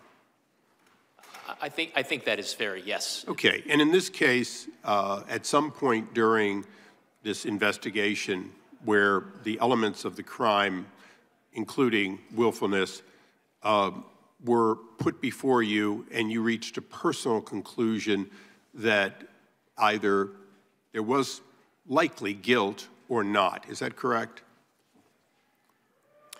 Not provable, not, not in front of a jury, just personal, because you have to make that decision as part of the case, correct? Correct, I- and I would say I approach the task as I have been trained to as a prosecutor, which is as on an iterative basis. The investigation is always uncovering new evidence that you incorporate. Right, so both before, during, and at the end, did you reach a conclusion, notwithstanding his current mental uh, state of being an elderly man with a poor memory and so on, that, that he did in fact deliberately take documents and held them from back when he was a senator, uh, that, that, and we're talking about your personal, not that you could prove it, but personally, did you see a pattern that goes all the way back to him being a senator of taking documents, making notes, and taking them and holding them personally? Congressman, I viewed my task as a prosecutor in this matter to determine what I believed the evidence No, I appreciate that, and, and I'm not trying to take away from your conclusion. Some others are debating the conclusion. I'm not debating the conclusion. I just want to go through uh, one element that I think is important. Look, you, you've prosecuted people in the past and failed to get a conviction. Is that correct? correct. Okay, you're not a 1,000 perfect batting average. Okay. I can't say that. Yeah. So you went into cases thinking that you would succeed and you didn't. Uh, one might say you probably declined to prosecute ones that you might have either gotten a conviction or gotten a plea on. Would you say that's fair to say over your long career? I I think that's fair because I take the rules as set forth in the Justice Okay. Manual seriously. However, uh, I'm going to presume that you would never prosecute someone you thought was outright innocent. Correct. In this case, did you reach a conclusion that this man was outright innocent? That conclusion is not reflected in my report, sir. Right. So you did not reach that conclusion, or it would have been in your report. I viewed my task of explaining my decision to the Attorney General as being based on my judgment and my assessment of the evidence, would a, would a conviction at trial be the probable outcome? And that's And, and, and, and I, I just want to make sure the record is complete in that because I think it's extremely important. You did not reach an idea that he had committed no wrong. You reached a conclusion that you would not prevail at trial and therefore did not take it forward. Is that correct? correct, Congressman. Okay. Um, I just want to go through one or two little, these are housekeeping almost. Um, the documents uh, that the, pres- the, vice, the president, then vice president, took, which included his own notes, uh, to your knowledge, aren't those covered by the Freedom of Information Act? Potentially. I honestly do not know, Congressman. Aren't they covered by the uh, uh, Presidential Records Act as every note and every text of the president, the vice president, and members of cabinet are covered? I I think different folks would have different views on whether they're covered by the PRA, Congressman. But isn't it true that he left office leaving none, no copies of that behind, and that alone was inconsistent with an open and transparent uh, individual, correct? I- I'm not aware of copies of those materials being left behind, Congressman. Okay, I want to thank you, and Mr. Chairman, I want to thank you for the extra few seconds. I yield back. Gentleman yields back. The gentleman from uh, Georgia is recognized. Thank you, Mr. Chairman. Um, Mr. Hur, you've led a distinguished career earning your law degree from Stanford University, and you served as a student um, as executive editor of the Stanford Law Review, correct? Correct. Then you went on to clerk for Judge Kozinski of the Ninth Circuit, correct? Yes, sir. After that, you ascended to a clerkship with then Chief Justice William Rehnquist on the United States Supreme Court, correct? Correct. And then you later joined the Daddy Bush Department of Justice as a special assistant to known Federalist Society member and now FBI Director Christopher Wray. Isn't that correct? I did spend some time working for former Assistant Attorney General Christopher Wray. And you later joined uh, the um, Trump Justice Department as the Principal Associate Deputy Attorney General, working as the right-hand man for another known Federalist Society member, Rod Rosenstein. Isn't that correct? I served as Mr. Rosenstein's principal deputy. And then Donald Trump appointed you to serve as U.S. Attorney for the District of Maryland. Is that correct? President Trump nominated me to serve in that position, and I And was unanimously in- confirmed by the United States Senate. That's correct. And thereafter, Attorney General Merrick Garland appointed you to serve as special counsel for the United States Department of Justice to conduct a full and thorough investigation of certain matters to determine whether or not Joseph Biden should be charged with unlawfully removing and retaining classified documents. Isn't that correct? Correct. And nowhere in that order does Attorney General Garland authorize you to conduct an investigation and issue a report on whether President Biden is mentally fit to serve as president. Isn't that correct? That does not appear in the appointment order. And pursuant to your appointment to conclude your investigation, you issued a report that was published by Attorney General Garland, correct?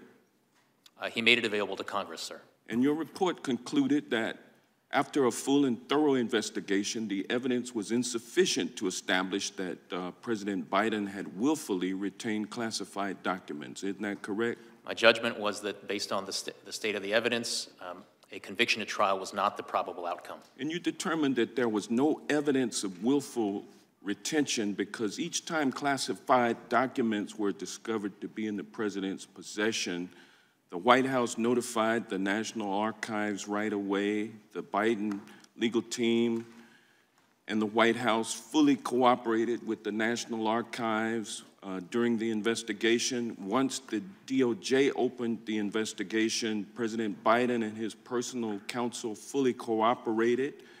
Isn't that correct? We did, we did identify some evidence of willful retention and disclosure, but we But also the point noted is, though, that the president cooperated fully with you. And didn't uh, President, uh, I mean, they never tried to hide any documents from you, did they? The report does note steps of cooperation taken by the president. Thank you, sir. And last but not least, unlike in the Trump classified documents case, President Biden's counsel never falsely certified that there was no classified documents in the president's possession, correct? The report does include some, some comparisons and contrasts between the facts alleged in the Trump case and the Biden case. Despite clearing President Biden from being prosecuted, you used your report to trash and smear President Biden because he said in, res- in response to questions over a five hour interview that he didn't recall how he got the documents. And you knew that that would play into the Republicans' narrative that the president is unfit for office because he's senile. And the American people saw during the State of the, of the Union address that that was not true. But yet, that's what you tried to offer to them, and that's why they are ha- having you here today, so that they can expand upon that narrative. And you knew that that's what was going to happen, didn't you? Congressman, I reject the suggestions Well, let me- that you have just well, made. well, that is not let what me- happened. let me move on Partisan then, sir. politics You are- you no are a part member- whatsoever in you my are- work. You are a My member of the Federalist Society, are you not? And fair. Are you a member of the Federalist Society? I am not a member of the Federalist Society. But you are a Republican, though, aren't you? I am a registered Republican. Yes, sir. And you're doing everything you can do to get President Trump reelected so that you can get appointed as a federal judge or perhaps to another position in the Department of Justice. Isn't that correct? Congressman, I have no such aspirations, I can assure you, and I can tell you that partisan politics had no place whatsoever in my work. It had no place in, in the investigative steps that I took. It had no place in the decision that I made, and it had no place in a single word of my report. Thank you, Gentleman, gentleman's time has expired. The ge- gentleman from New Jersey is recognized for five minutes. Thank you, Mr. Chairman. Mr. Hur, thank you for being here. You know, I think for the folks that may be watching this at home, they might be a little bit confused, and I'm trying to organize this in my mind as well. Um, the way the pr- president is portrayed in your report and just how we feel about him. Was he a well meaning, forgetful man, as you said? Or was he a man that was focused on history? Was he a man that maintained and retained these uh, top secret documents that should have been in, not in his home? And was he a man that wanted to prove he was worthy to be president and that his vision of Afghanistan was better than even President Barack Obama's and that his focus on history was most important to him? Do you know which it is? Congressman, to the extent you're quoting language from my report, I stand by the words in my report. So you stand by that he was, and let me quote you exactly, quote, a well-meaning but forgetful old man. I don't think those exact words appear in the report, Congressman, but to the extent that I uh, use words similar to that effect in my assessment of how a jury would perceive Mr. Biden and the evidence relating to him, including his testimony, I do stand by that assessment. So, is it accurate to say that in your interview, President Biden retained and disclosed classified materials as a means to bolster his image as a presidential figure? And I'm going to ask you for yes or no's here because our time is so limited. I believe words to that effect are in my report, So the answer is yes. Would you agree that President Biden's intent to showcase his legacy provides a motive for his actions concerning classified materials? Yes It or is- no? It is one of the motives uh, addressed in the report. Yep, to showcase his legacy. Is it accurate to quote your report that classified documents were found in, quote, badly damaged boxes in his garage near a collapsed dog crate, a dog bed, a Zappos box, and an empty bucket? Is that correct? Those words do appear in the report. So that's correct. The answer is yes. Are these secure locations to store classified documents? They are not. Okay, so we got a former vice president who is established to have willfully, purposefully retained classified documents in order to highlight his political stature and show his stature as a presidential figure. We have a former vice president who stored classified documents in very unsecured places. We have a former vice president who will not suffer any consequences for all of these actions, all because we say, well, he's a well meaning, forgetful old man. You know, if you were kind of a well meaning, forgetful old man that was driving a car and you forgot what you were doing a little bit and you hit somebody and killed them, I believe you'd be responsible. The law must apply, you know this, to everyone. The standard behind the decision not to prosecute Joe Biden, especially in light of special counsel Jack Smith's decision to prosecute President Trump for similar conduct, gives the real appearance of two standards. Just again, so much part of this Department of Justice. Justice for thee, but not for me. Special Counsel Hur, has any former president or vice president besides President Trump ever been criminally charged for knowingly retaining classified information after they left office? Yes or no? No. Would you concur that Special Counsel Smith's decision to charge a former president for retaining and disclosing classified information was an extraordinary, unusual, and unprecedented decision?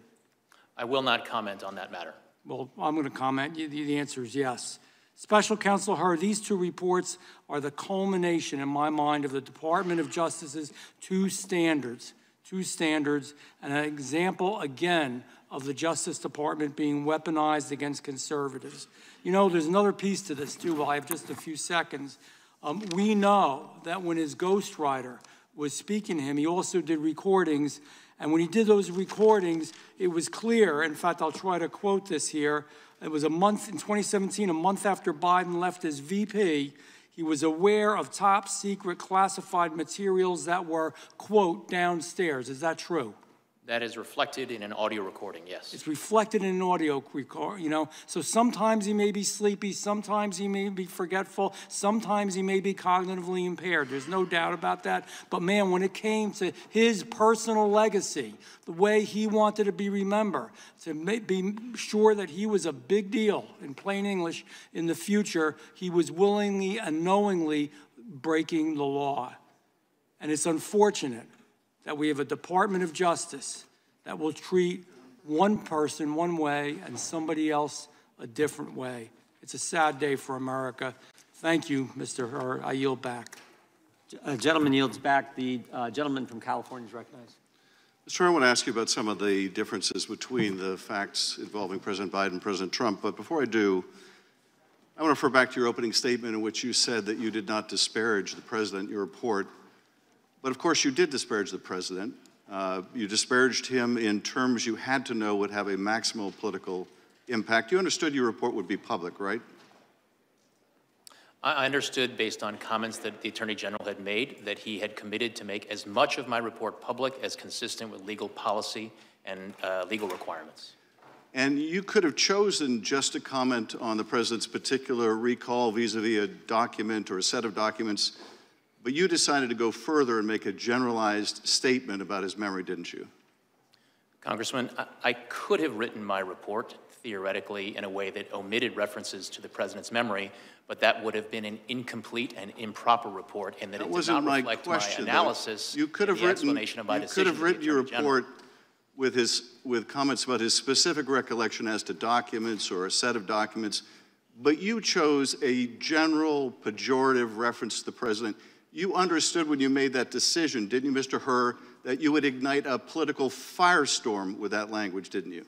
Congressman, politics played no part whatsoever in my investigative steps. But you understood nevertheless, the words didn't you, that I Mr. Hur? Mr. Hur, you, you, you cannot tell me you're so naive as to, to think your words would not have created a political firestorm. You understood that, didn't you, when you wrote those words, when you decided to include those words, when you decided to go beyond specific references to documents? You understood how they would be manipulated by, by my colleagues here on the GOP side of the aisle and by President Trump. You understood that, did you not? Congressman, what I understood is the regulations that govern my conduct as special counsel. And those the regulations- those required me to write a confidential report for the Attorney General. Which you knew would not be confidential. decision, And that Which is you what I knew- did, Congressman. I Mr. Hur, followed you- the rules. You knew I it would not be and I confidential. followed them. You knew it would not be confidential, didn't you? Sir, the regulations required me to write a confidential report re- explaining my decision to the Attorney General. Which you knew would be released. It was up to the Attorney General to Which you- but determine you what understood it would be portions of the released, did you would not? be released consistent with DOJ policy. You understood it would be released. You understood it would be released. I you? understood from the Attorney General's public comments that he would make as much of my report public as he could, consistent with legal requirements and DOJ And you also policy. understand DOJ policy that you are to take care not to prejudice the interests of the subject of an investigation, right? That is generally one of the interests that DOJ policy requires that prosecutors respect. And it was your obligation to follow that policy in this report, was it not? It was also my obligation to write a confidential report for the Attorney General explaining completely But my what decision. you did write was deeply prejudicial to the interests of the president. You say it wasn't political, and yet you must have understood. You must have understood the impact of your words. You must have understood the impact of your decision to go beyond the specifics of a particular document, to go to the very general, to your own personal, prejudicial, subjective opinion of the president, one you knew would be amplified by his political opponent, one you knew that would influence a political campaign. You had to understand that. And you did it anyway. And you did it anyway.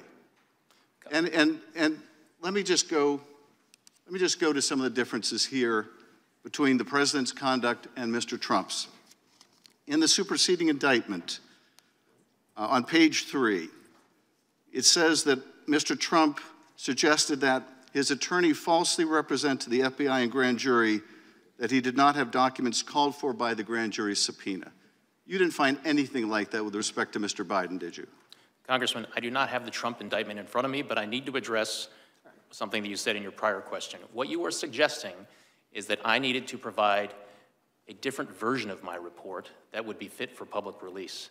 That is nowhere in the rules. I was to prepare a confidential report that was comprehensive and thorough of an What is in the rules, position as Attorney Mr. Hur, what is in the rules is you don't gratuitously do things to prejudice the subject of an investigation when you're declining to prosecute. You don't gratuitously add language that you know will be useful in a political campaign. You were not born yesterday. You understood exactly what you were doing. It was a choice. You certainly didn't have to include that language. You could have said, vis a vis the documents that were found at the university, the president did not recall. There is nothing more common. You know this, I know this. There is nothing more common with a witness of any age when asked about events that are years old to say, I do not recall. Indeed, they're instructed by their attorney to do that if they have any question about it. You understood that. You made a choice. That was a political choice. It was the wrong choice. Mr. Chairman, I yield back.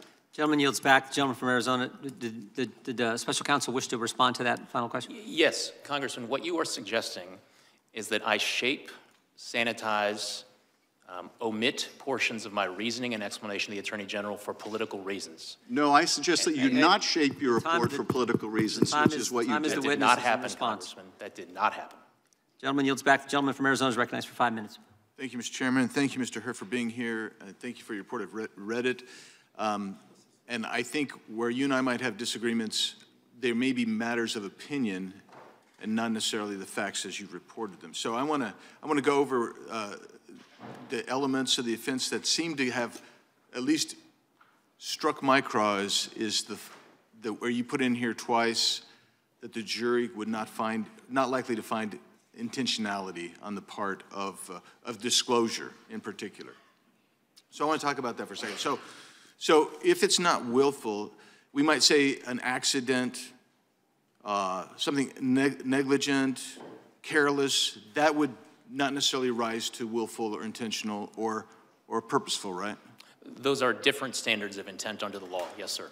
Yeah. So, um, so when, when President Biden misplaced 30 briefing documents in 2010 that had classified material, and, in, and they're not sure even if they ever got them all back, or when he was in the Hamptons part, at a party and he lost what they were calling code words, which is uh, high security information, that, that wasn't necessarily willful. There was no indication that he purposefully did that. Accidental, negligent. You indicated, don't know if we even got all that information back. We're assuming maybe we did. That, that would not be willful, right? As reflected in the report, there were certain categories of documents where when we looked into them and investigated um, how they got to where they ended up or how they ended up being misplaced, we did not identify evidence of willfulness. Yeah, and so if something's willful, you wouldn't say it's ignorant, it's not incompetent, it's not accidental. Um, we'd say something like it's willful, it's intentional, it's purposeful. It indicates really a choice that you have made a deliberate, conscious decision to, enact, uh, to act in a certain way. Is that fair? That, that is fair, Congressman. And as I explained in the report, the standard, um, the, the willfulness standard basically involves, can be boiled down to the following things. That you know that what you are doing is against the law when you do it. Correct. So let's take a look at it. And this has been brought up before in February of 2017. Um, he's having the discussion with the ghostwriter. He says, he's at the Virginia house at this point. He says, I just found all the classified stuff downstairs, right? So he knows he's got classified stuff, right? Two months later, in April, he's at a different location, I, is my understanding. I think he's in, I think he's now up in Delaware. And as you look at page, let's look at 105, 106 here. He says, uh, Biden reads from a different notebook entry. He reads aloud from notes summarizing a range of issues. We're talking about U.S. military views expressed there the by the intelligence community, the DNI, CIA director. And while he's reading those notes, he says, I can't, I can't read my own writing. Do you have any idea what the heck I'm saying here? The, he asked the, the, the uh, ghostwriter. Ghostwriter says, well, something, blah, blah, blah. And Biden says this some of this may be classified, so be careful. Some of this may be classified, so be careful. Now, my immediate response was, okay, so he knows he's got classified docs. He's looking at this, he can't read. He's, he's, he's giving this to somebody he knows has no security clearance. So he says, hey, read this. But be careful, it might be classified. The next thing, and the guy says, okay. Next thing he says, well, I don't know if it's classified or not. I'm suggesting to you, and this is the where you and I have a difference of opinion. When you say something like, hey, I just, uh, uh look, this may be classified, be careful. That warning, that warning to be, be careful because it may be classified, that indicates guilty knowledge.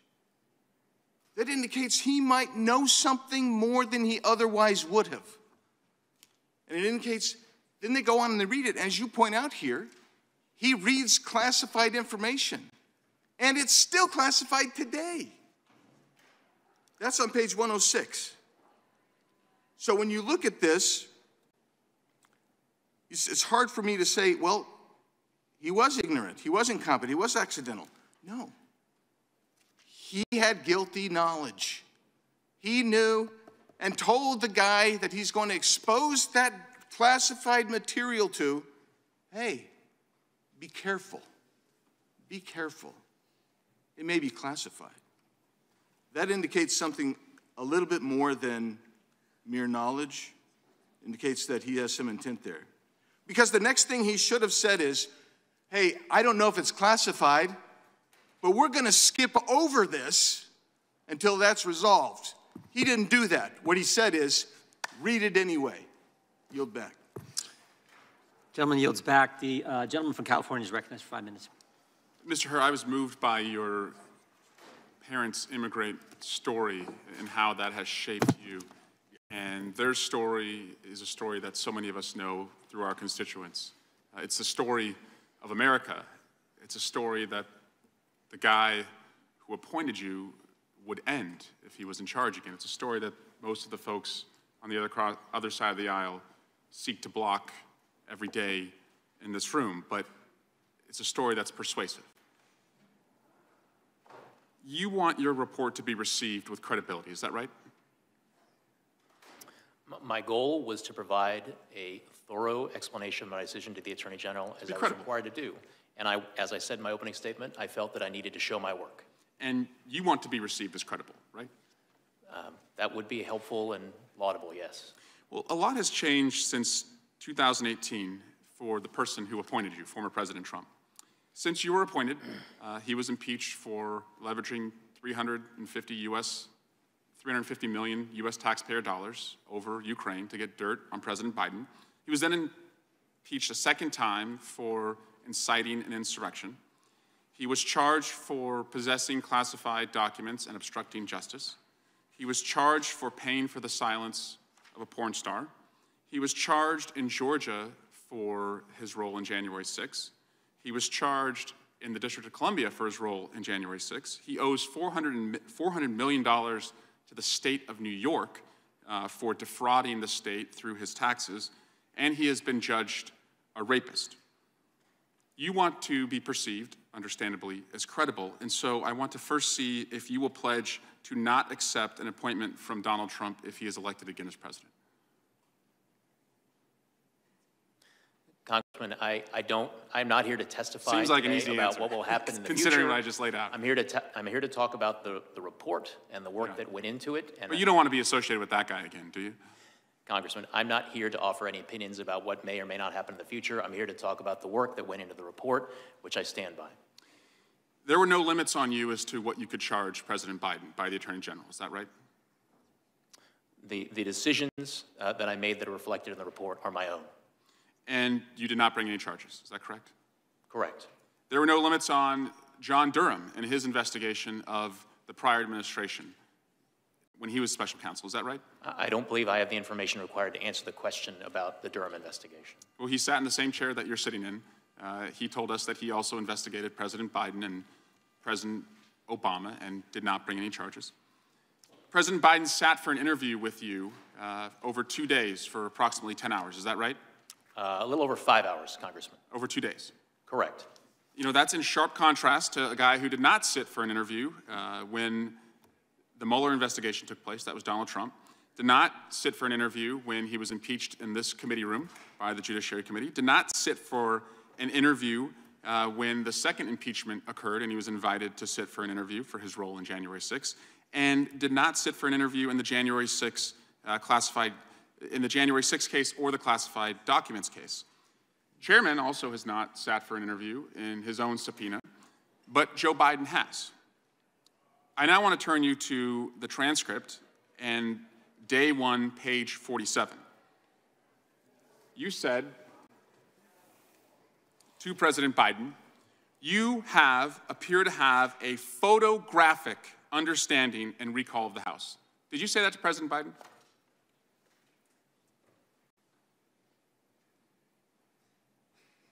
Those words do appear on page 47 of the transcript.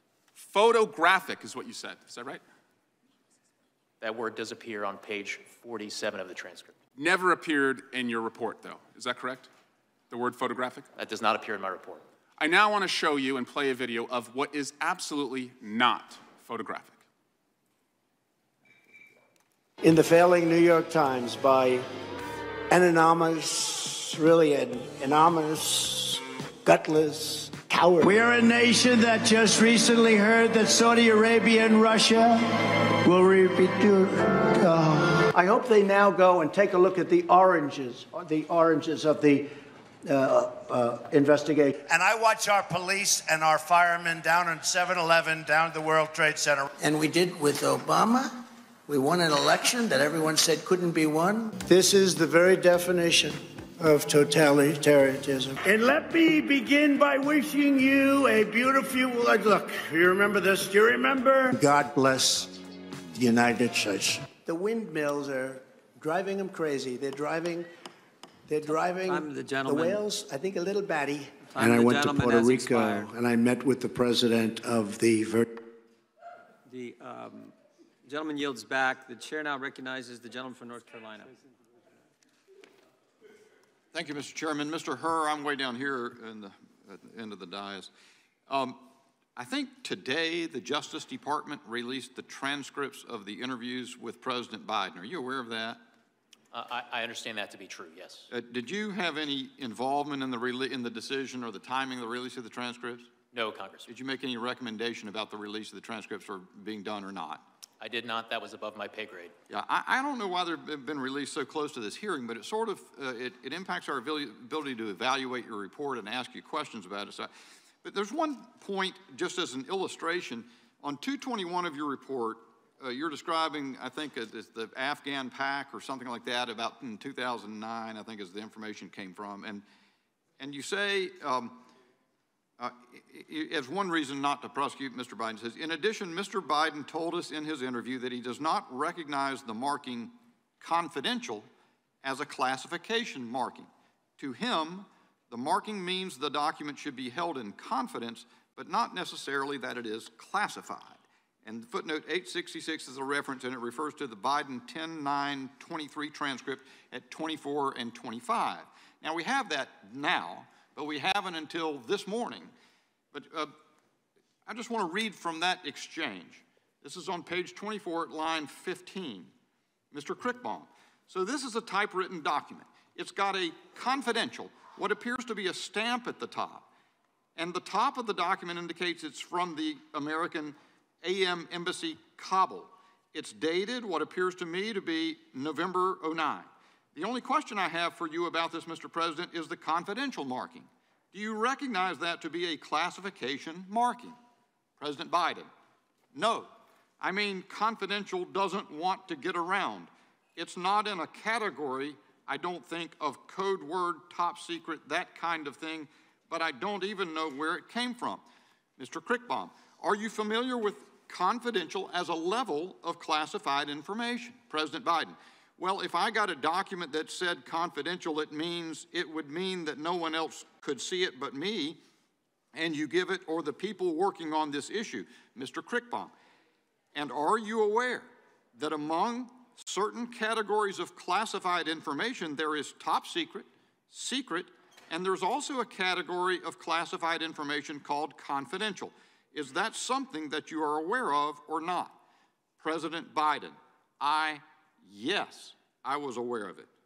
I don't ever remember when I got any document that was confidential that was meant for me to read and or discuss with the people who sent me the memo so. And that's the, and then it trails off. So as I read that, those answers, they're equivocal. He at first says he doesn't know. Do you recognize that to be a classification marking? He said no, and then goes on to explain. But then Mr. Krickbaum came back and he said, Are you aware that among certain categories of classified information, there's also a category of classified information called confidential? And he says, I, yes, I was aware of it. So, Mr. Hur, just in that one instance, there seems to be a discrepancy between the conclusion in the report or the summary of the evidence in the report and what the transcript says.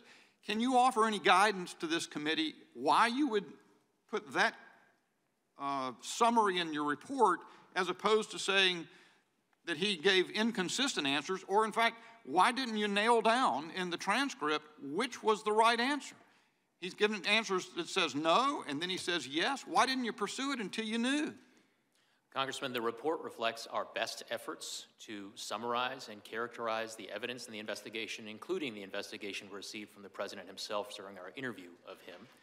Um, but as you point out, the transcripts of the President's interview over two days are now available to the committee for their inspection, and um, the members are able to draw their own conclusions uh, based on the transcripts that are now available to them. Well, with all, uh, and I appreciate your answer. Uh, and I certainly think uh, things, you know, you can come up with some details that someone can disagree on, and it has the quality, I know, of some, of some cherry picking because I've just found something, but we've only had a little bit of time to look. I don't think it serves this process well for the Justice Department to dump these transcripts into the public right now. If they were going to be released, they should have been released at a proper time. Um, and, I, and, and I think I'll leave it at that, Mr. Chairman. I'll yield back. Uh, The gentleman yield? The gentleman yield? I will yield to Just, the just, just real quick, Mr. Hur, someone earlier said, you know, said something about changing the facts. You said, I'm not going to change the facts, but let's keep the facts the same, but change the subject. If you had the same facts and the individual that you were investigating was 65 and had a good memory, do you reach the same conclusion? Congressman, as I responded earlier to a question along these lines, I, I am not here to entertain hypotheticals about facts or circumstances that may be different. What I did was assess the evidence and the facts that I obtained in this investigation and make a judgment based on this set of evidence. Fair enough. The chair now recognizes the gentlelady from Washington for five minutes. Thank you, Mr. Chairman. Special Counsel Hur, thank you for being here. Thank you for your work. In your investigation, you reviewed more than 7 million documents and conducted 173 interviews of 147 witnesses, including President Biden. Is that correct? Yes, Congresswoman. And your 15-month investigation cost several million dollars and resulted in a comprehensive 345-page report with several dozen pages of appendices.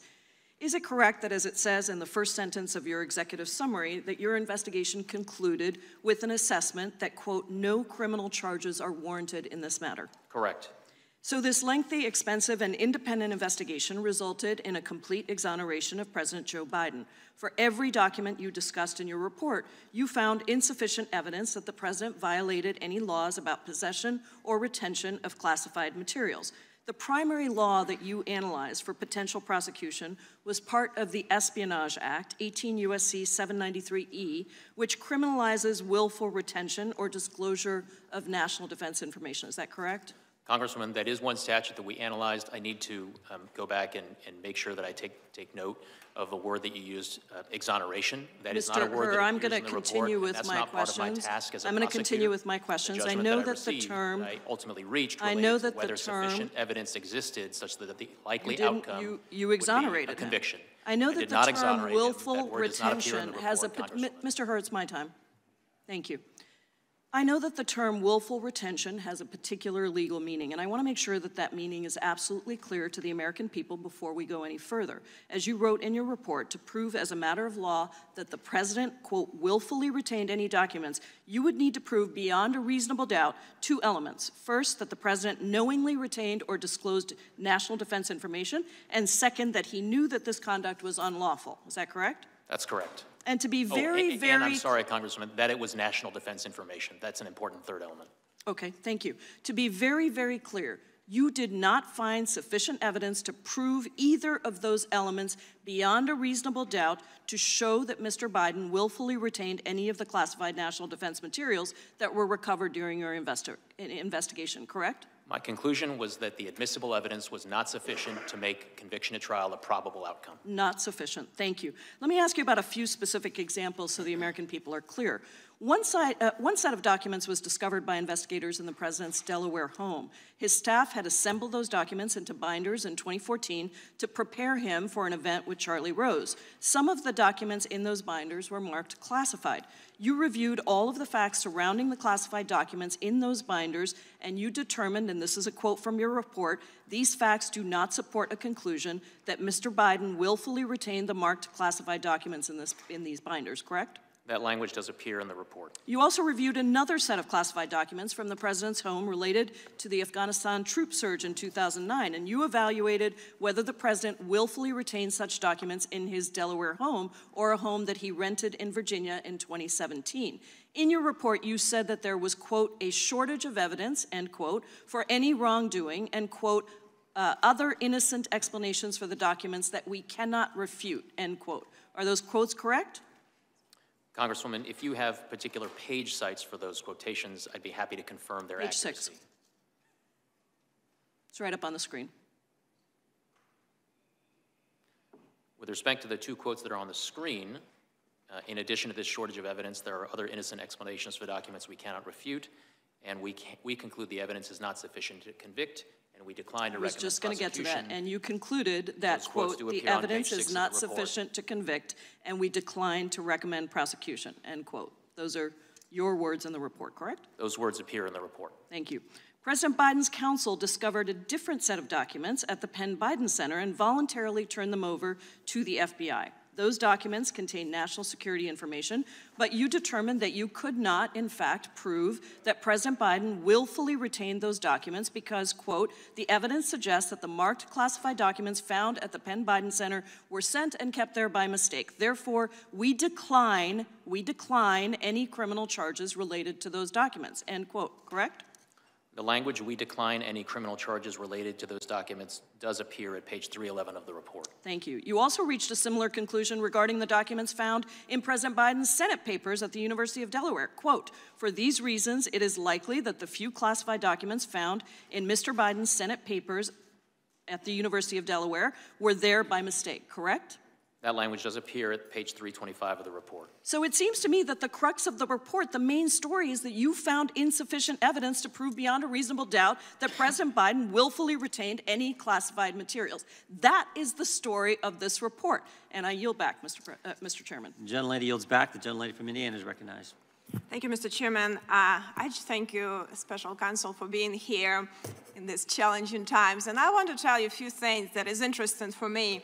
Uh, you obviously could see that there is a motive, there is a legacy. You obviously see that there was a willful retention of these documents, but it's interesting for me that when you talk about sympathetic, well-meaning, uh, older man with poor, uh, elderly man with a poor memory, it seems like every you know, attorney would advise you to be sympathetic and be well-meaning, and it seems like the whole FBI needs to do, a, a, based on my hearings here, I need to do check on amnesia because everyone says doesn't recall. So it seems to me that it might have been something way more in his recollection there's a typical I don't recall, because that's what everything's like, that's I've learned it here. So is there something more than that, that just I don't recall something for you to actually decide? Because it seems that this is the core of, of the whole investigation. Why didn't you pursue further the charges? Congresswoman, uh, my judgment um, as to how a jury would likely perceive and receive and consider evidence relating to um, relating to all the evidence that would be put in both by both the government and the defense at trial.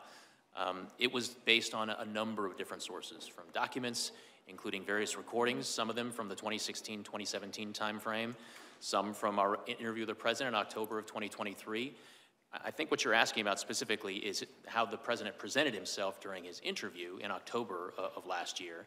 And of course, I did take into account not just the words from the cold record of the transcript, but the entire manner in, in living color in real time of how the president presented himself during his interview. Uh, hopefully he didn't smart you and all of us. But uh, uh, before I yield, I just wanted to actually just comment on something, you know, Mr. Raskin mentioned about, you know, us not remember, remembering communists. I actually grew up under communists, and I have a very good recollection what it is.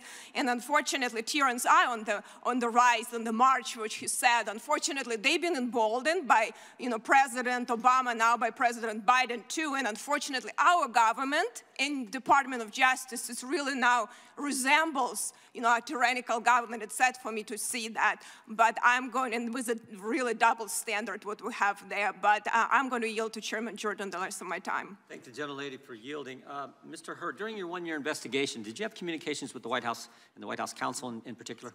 Yes.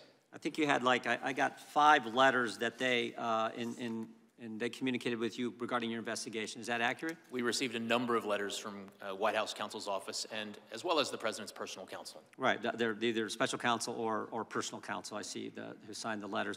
And did the White House get the report before the report was made public?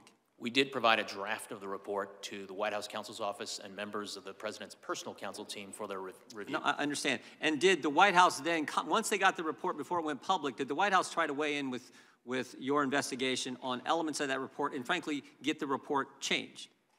They did request certain edits and changes to the draft report. Yeah, I see that in the, in the February 5th letter. Did they only correspond with you? Uh, I'm sorry, Congressman, are you, are you asking if they, Congress, if they corresponded with anyone else on my Once, team? once you gave the report to the White House, Yes. they tried to, they saw changes. I have one letter here that's addressed to you on February 5th, and they said, we're pleased that after more of a year of investigating, you've determined, you know, they, they, they, they respond to the report.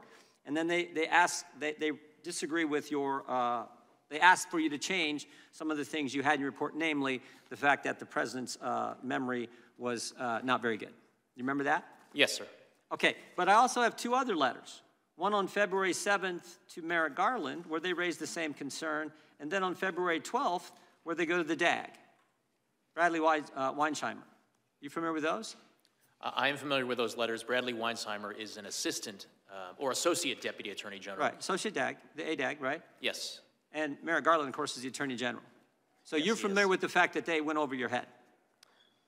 Um, they were certainly entitled to write whatever letters they wished to Mr. Weinsheimer and to the attorney general. I just find that interesting. You know, the White House is, they're communicating with you throughout this one-year investigation, and then the White House says, oh, we're gonna, we're gonna go to the, we're gonna go to the principal's office, and we're gonna, we're gonna talk about Mr. Hur's report. Do you find that interesting? Uh, as I said, they, they were free to correspond with whomever in the federal government they wished to correspond with. Um, I, I did engage in numerous communications with them during the course of the uh, investigation, and as is reflected in the special counsel regulations, the Attorney General did provide oversight of my investigation. Understand. Uh, I thank the gentlelady for yielding and uh, yield back. The chair now recognizes the gentleman from California for five minutes. Thank you, Chairman Jordan.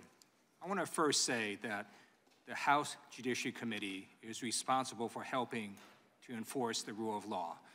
Unfortunately, the actions of this chairman in ignoring a bipartisan congressional subpoena have damaged the ability of this committee to get information from witnesses and damage the rule of law. Now, Mr. Hur, thank you for being here today. Thank you for sharing your compelling immigrant story that just goes to highlight how America is a nation of immigrants. I'm going to ask you a series of questions, yes and no questions. They're not trick questions. They're simply designed to highlight what you already found in your report, which is that there are, quote, material distinctions, end quote, between President Biden's case and Mr. Trump's case. So here's my first question. In your investigation, did you find that President Biden directed his lawyer to lie to the FBI? We identified no such evidence. Did you find that President Biden directed his lawyer to destroy classified documents? No. Did you find that President Biden directed his personal assistant to move boxes of documents to hide them from the FBI? No. Did you find that President Biden directed his personal assistant to delete security camera footage after the FBI asked for that footage? No. Did you find that President Biden showed a classified map related to an ongoing military operation to a campaign aide who did not have clearance? No. Did you find that President Biden engaged in a conspiracy to obstruct justice? No. Did you find that President Biden engaged in a scheme to conceal? No. Each of the activities I just laid out describe what Donald Trump did in his willful mishandling of classified information and his criminal efforts to deceive the FBI. In contrast, President Biden handed over documents without delay complied fully with investigators. Mr. Hur, in your report, you write that, quote, according to indictment, Trump not only refused to return the documents for many months, but he also obstructed justice by enlisting others to destroy evidence and then to lie about it, end quote. You also say that if proven, these would be, quote, serious aggravating facts, end quote. Do you still stand by your analysis? I do. Okay. I have a few more questions as well. In your investigation, did you find that President Biden set up a shell company and covertly paid $130,000 in hush money to an adult porn star? No. Did you find that President Biden directed his lawyer to pay $150,000 in hush money to a former Playboy model? No. In your investigation, did you find that President Biden called the Georgia Secretary of State to demand, to demand that he, quote, find 11,780 votes? No. Did you find that President Biden devised a scheme to organize a slate of fake electors to undermine a free and fair election? No.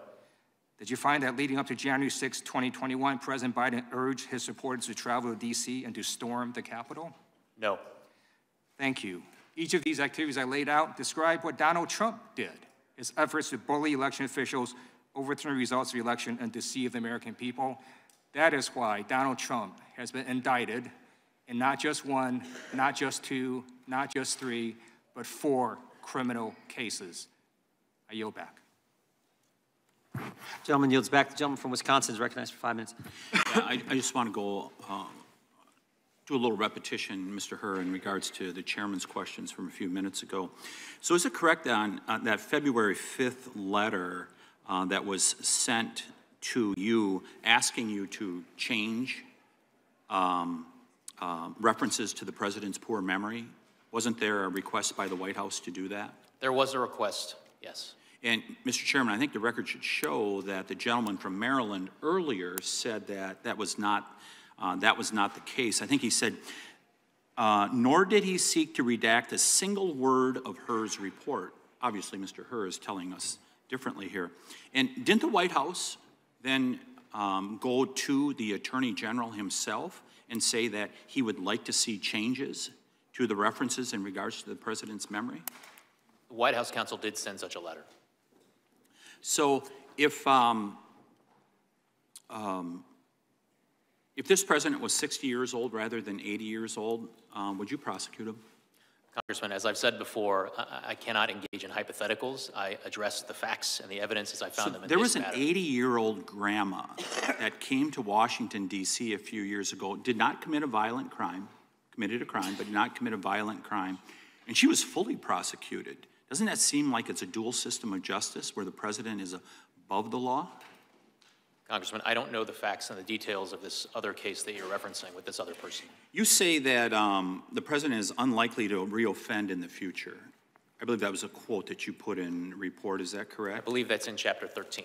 How, how so? How is he unlikely to reoffend in the future? How, how, how do you come to that judgment? Uh, as, I say on page 254, any deterrent effect of prosecution would likely be slight. We are not concerned with specific deterrence, as we see little risk he will reoffend. Well, isn't it because he's now the president and he has almost unlimited authority to, um, um to release documents? Isn't that correct? I mean, as a vice president, he didn't have that authority. Now that he's president, isn't it easy to say that? That he's unlikely to reoffend because he's got almost unlimited authority to release these documents? Well, that, that statement was based on uh, that assessment of the likeliness of reoffending from this particular person, President Biden, is based on a number of factors, including the authority that he has now with respect to classified materials, as well as the experience that he's had going through a special counsel investigation.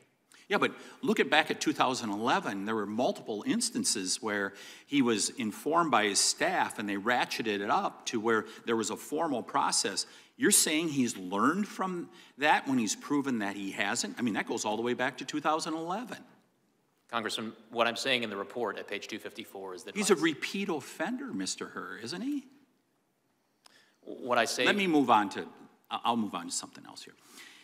You said he had strong motivations to ignore the proper procedures for safeguarding classified information, and he provided raw material to his ghostwriter that would be of interest to prospective readers and buyers of his book. And I think you said something about he viewed himself as a historic figure, correct? I believe those words do all appear in the report. Yeah, and he was also doing this for business purposes, um, that there may be people that would want to buy his book.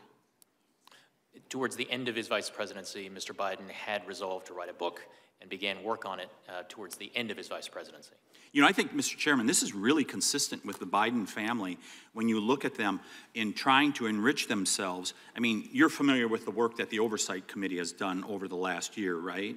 I I have read some reports of it. I mean, 20 phone calls that were made to his son that he denied in 2019, 20 shell companies that were created, over $20 million. I mean, doesn't it appear there's a pattern here that where I come from, they almost call it money grubbing?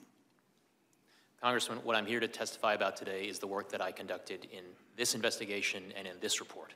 So I want to thank you for the work that you did as far as you could. But um, unfortunately, you are part of the Praetorian Guard that guards the swamp out here in Washington, D.C., protecting the elites. And Joe Biden is part of that company of the elites. And you see it in um, the things that the Department of Justice has not acted on, Mr. Chairman. I mean, you look at the president's son, who does not have to answer for lying on his Form 4473 in regards to throwing away a weapon. You see it where the uh, Department of Justice fends off the IRS when the whistleblowers come with this information. Now we see it once again where a president believes he is above the law, and there is no doubt that this president does believe he's above the law. I yield back, Mr. Chairman. The Gentleman yields back. The gentleman from California is recognized. Thank you, Mr. Chairman. Mr. Hur, welcome. I also concur, and let me echo what's already been said by my colleagues that uh, your personal story of being an immigrant, your family immigrants to this country, the way you've contributed to the greatness of this country shows why America is great. The great immigrant story. Thank you for being here, sir. First question to you is, you're a Republican? I am, sir. Does that stop you from a thorough and fair investigation? I certainly hope not, and I know not. This story is really proof of the old saying that the cover up is worse than the crime. Um, President Trump and President Biden handled their classified materials differently, wouldn't you say? I, I, my report includes an assessment of the alleged facts uh, in the pending indictment of former President Trump and a comparison to the facts that we found in this case. But clearly, the handling of these documents was night and day, correct? Congressman, do you have a specific aspect of the handling of the documents that you have in mind? Well, you know, President Trump intentionally took classified materials and obstructed justice to ensure that those materials wouldn't be taken from him. And he refused to work with law enforcement. Is that correct? My report reflects no findings of um, obstructive conduct on the part of Let me ask you another question. President Trump has been indicted in the U.S. District Court of Southern Florida on 40 counts related to his possession of classified documents. Is that correct? I don't know the exact number of counts, but I know that an indictment is pending in that district. Mr. Hur, you even wrote that after being given a number of chances to return classified documents and avoid prosecution, Mr. I should say President Trump allegedly did oppose. And according to the indictment, he not only refused to return those documents over for many months, but he also obstructed justice by enlisting others to destroy evidence and lie about them.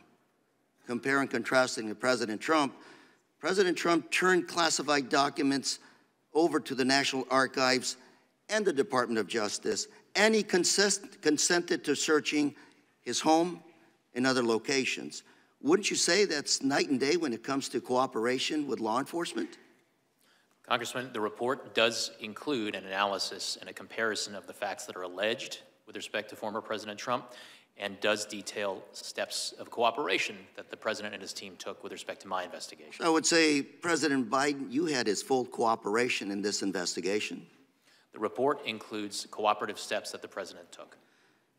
Would this be a factor in your decision to prosecute?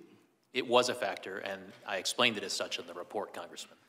And you stated that the recommendation not to prosecute had nothing to do with the Department of Justice policy not to indict a sitting president. Is that correct? What the report says that even if it were not current Department of Justice policy that a sitting president may not be indicted on federal crimes, I would reach the same conclusion that criminal charges are not warranted. Mr. Hur, have you set new precedent here today? To the extent that to the extent that the Department of Justice makes enforcement decisions or non-enforcement decisions in particular cases, those are precedents, those are, those are events that future prosecutors do look to in an endeavor to make sure that law, federal law is applied um, consistently over time. Mr. Hur, I'd say, based on your education and your career experience, you're a very, very competent prosecutor, a very, very well-prepared attorney. I'm going to ask you one more time. Does the fact that you're Republican, does that stop you from a thorough and fair investigation? No, partisan politics had nothing to do with the work that I did or the report that I wrote or the decision that I reached. Thank you very much for being here. And Mr. Chairman, I yield. Gentleman yields back. Gentleman from Wisconsin is recognized. Attorney Hur, um, Webster's dictionary defines senile as exhibiting a decline of cognitive ability, such as memory associated with old age. Mr. Hur, based on your report, did you find that the president was senile? I did not. That, that conclusion does not appear in my report, Congressman. Uh, you felt, though, that the president's memory or lack thereof was a critical reason to decline prosecution. The reason I'm asking this is whether you believe the president would be fit to stand trial, or do you think his lawyers would argue his incompetence to stand trial due to his state of mind? Uh, also, you know, was, was he in a, in a place to actually uh, be questioned? Congressman, my report, to the extent that it addresses um, the president's memory gaps that we identified and the evidence that we obtained during our investigation.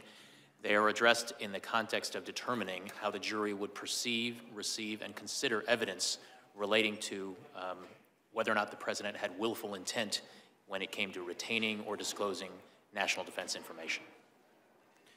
Very good. I'd like to focus my questioning on Chapter 14 of your report. Uh, the classified documents found at the Penn Biden Center you state in your report that the documents found at the Penn Biden Center were the most highly classified, sensitive, and compartmentalized materials recovered during your investigation. Is that correct? That is correct. Many of the documents came from Mr. Biden's West Wing office. That's also correct, isn't it? I believe that is reflected in the report. Uh, did, did you ask if he had packed the boxes himself? I believe that was one of the questions that we asked, and that is reflected in the transcript now available to the committee. I think it's important. How would you characterize the packing of these boxes? Was it slow and meticulous, or were they packed in haste uh, without much scrutiny at all?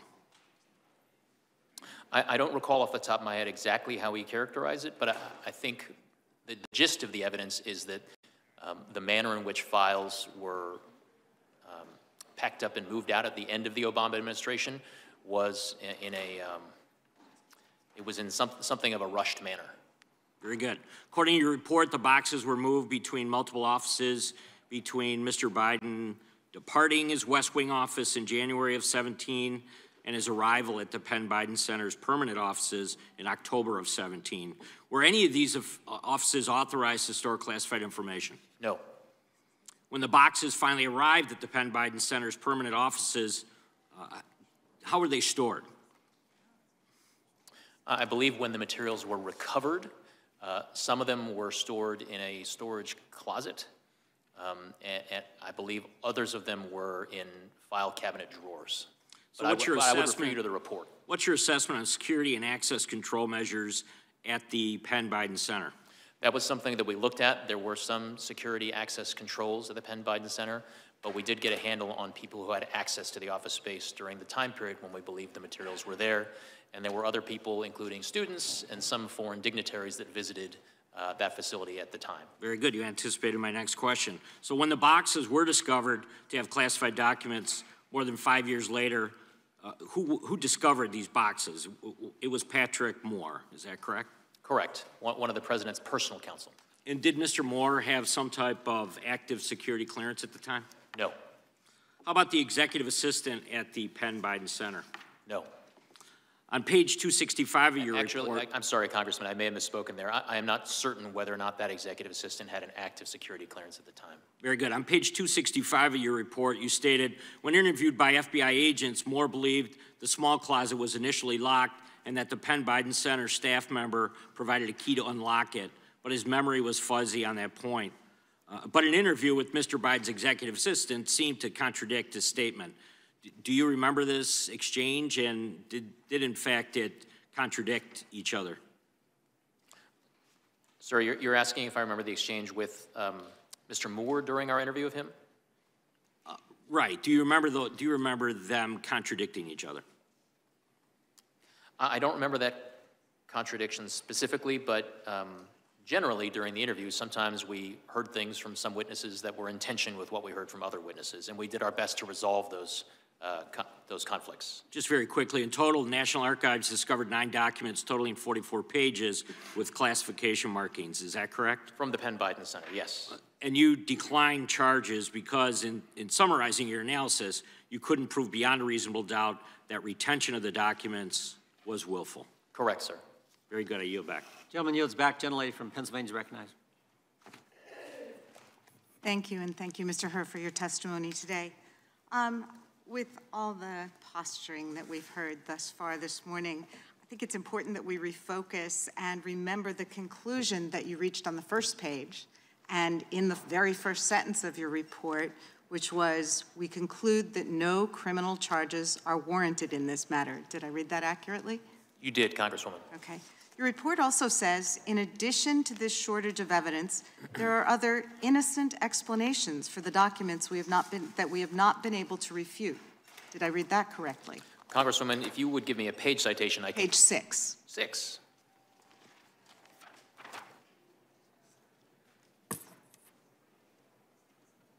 Yes, I see that language on page six. Okay, thank you. Now, in addition to those conclusions, your report details several material distinctions, as you called them, between President Biden's actions and former President Trump's mishandling of classified materials. The facts are that President Biden cooperated with your investigation, is that correct? He did. And his team notified authorities when they discovered classified documents and he turned them over immediately, is that correct? Yes, He consented to multiple searches of his home and other properties, is that correct? correct, And he voluntarily sat for an interview with you, is that correct? correct. But when it comes to Mr. Trump's treatment of classified materials, your report states that, according to the criminal indictment against him, he refused to return classified documents in his possession for many months despite having multiple chances to do so, and he obstructed justice by enlisting others to destroy evidence and lie about it. Is that correct? Correct. Now, you noted in your testimony that the specific comments you made about President Biden's memory have gotten a lot of attention.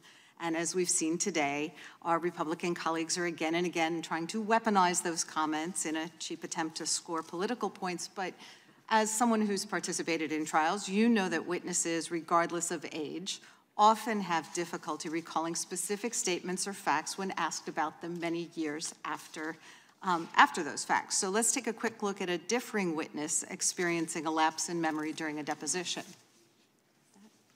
Your next wife was a woman by the name of Marla Maples, Right. and um, sitting here today, do you recall dur- what years you were married to Ms. Maples? Um, I'd have to get the exact dates for you. I can do that. Am I correct that you married your cur- current wife in January 2005? I don't know relative to that date. And what years were you the owner of the Plaza Hotel? I don't know the use. James Webb. I don't remember the names. Don't remember the name. So you don't remember saying you have one of the best memories? I, I don't remember that. I, I have, I know, I remember you telling me, but uh, I don't know that I said. So I would also add that Mr. Trump told lawyers, I don't remember, 35 times in his deposition for a lawsuit over Trump University. And in response to questions from special counsel Robert Mueller, he answered, did not remember or could not recall 27 times. Now, uh, Mr. Hur, you've said today that DOJ process and regulations required you to assess whether a jury would find Mr. Biden to be a credible witness, correct?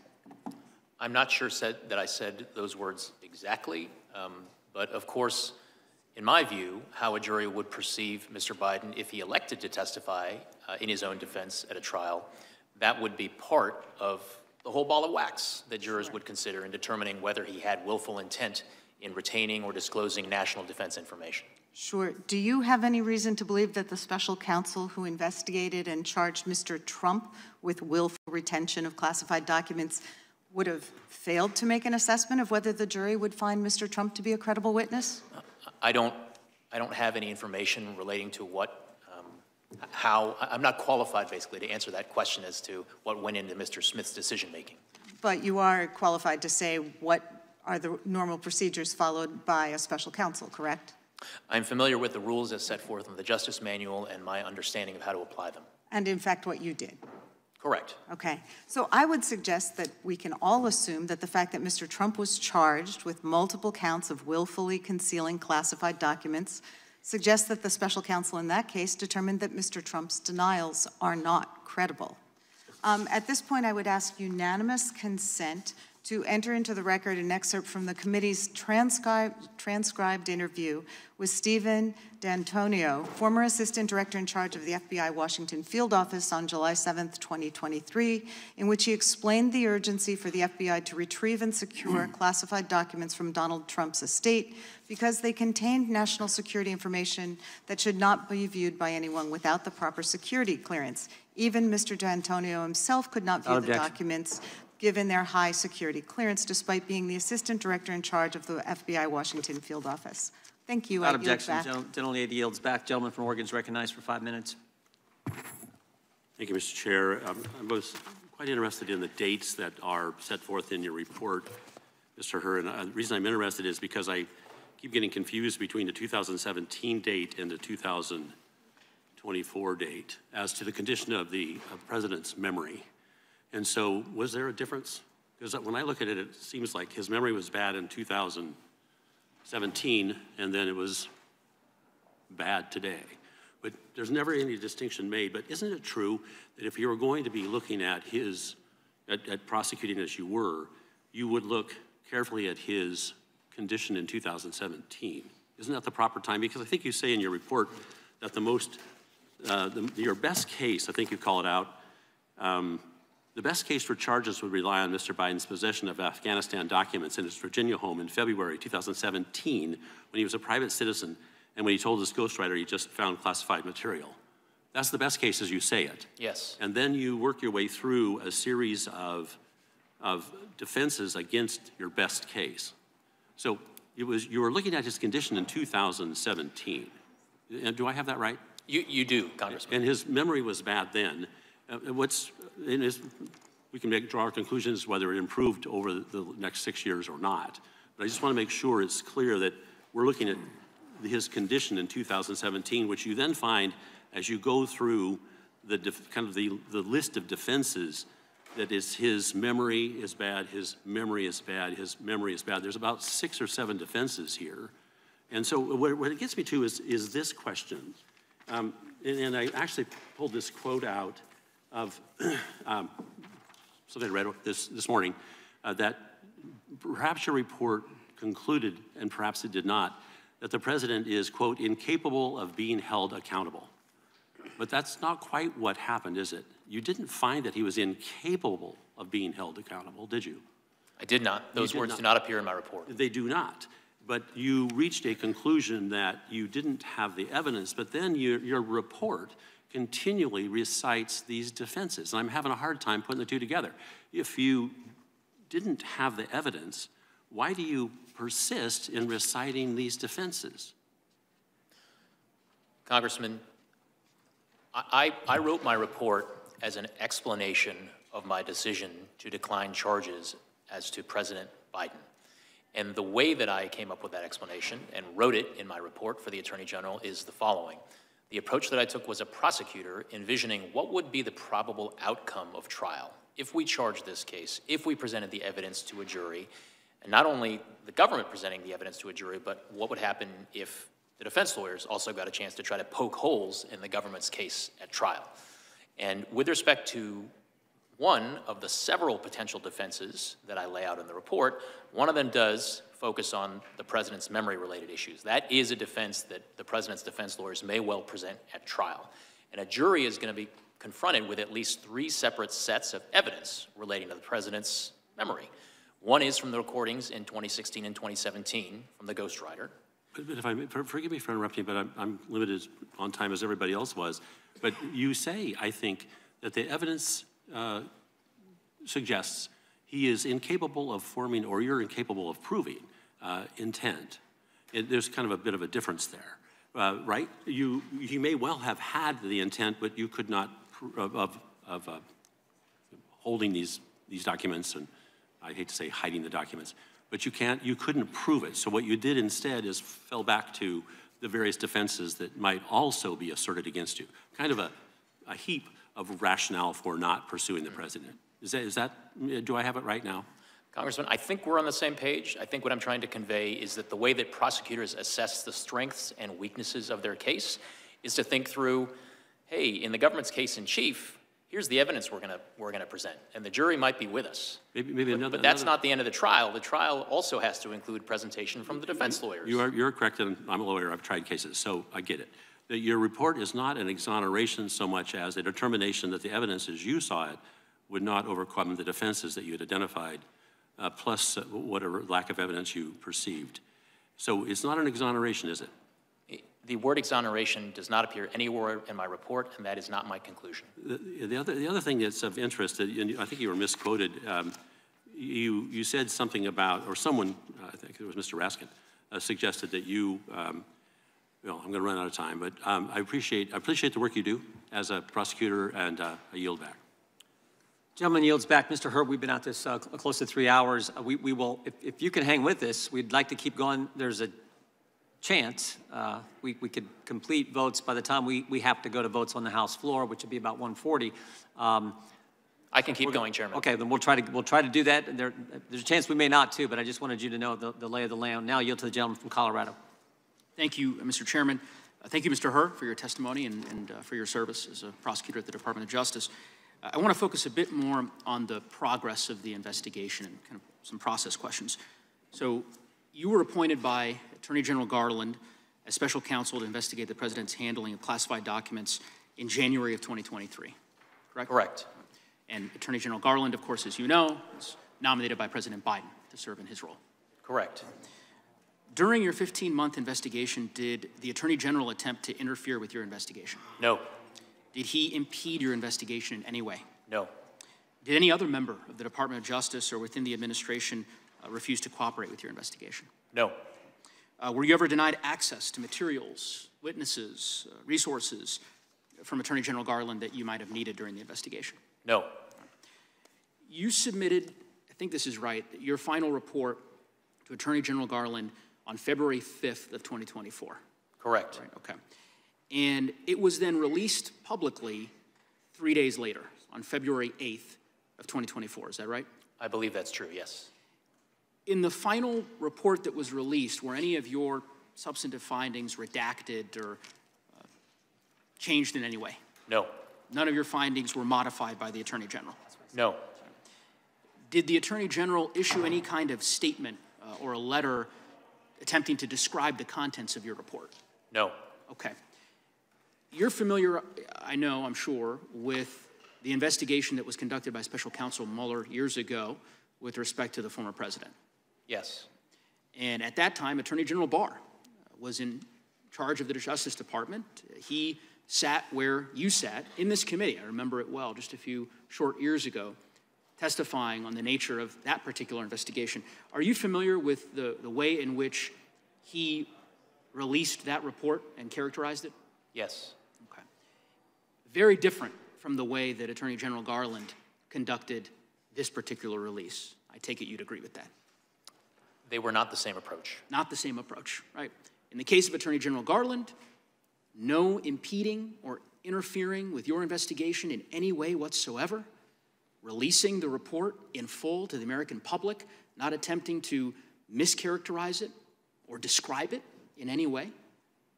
Dissimilar from Attorney General Barr, who five years ago, as you recall, after Special Counsel Mueller submitted his report to the Department of Justice, took nearly a month to release the report to the American public, heavily redacted, and not before he had issued a letter of his own to the leaders of the Senate and House Judiciary Committees, mischaracterizing the contents of that report.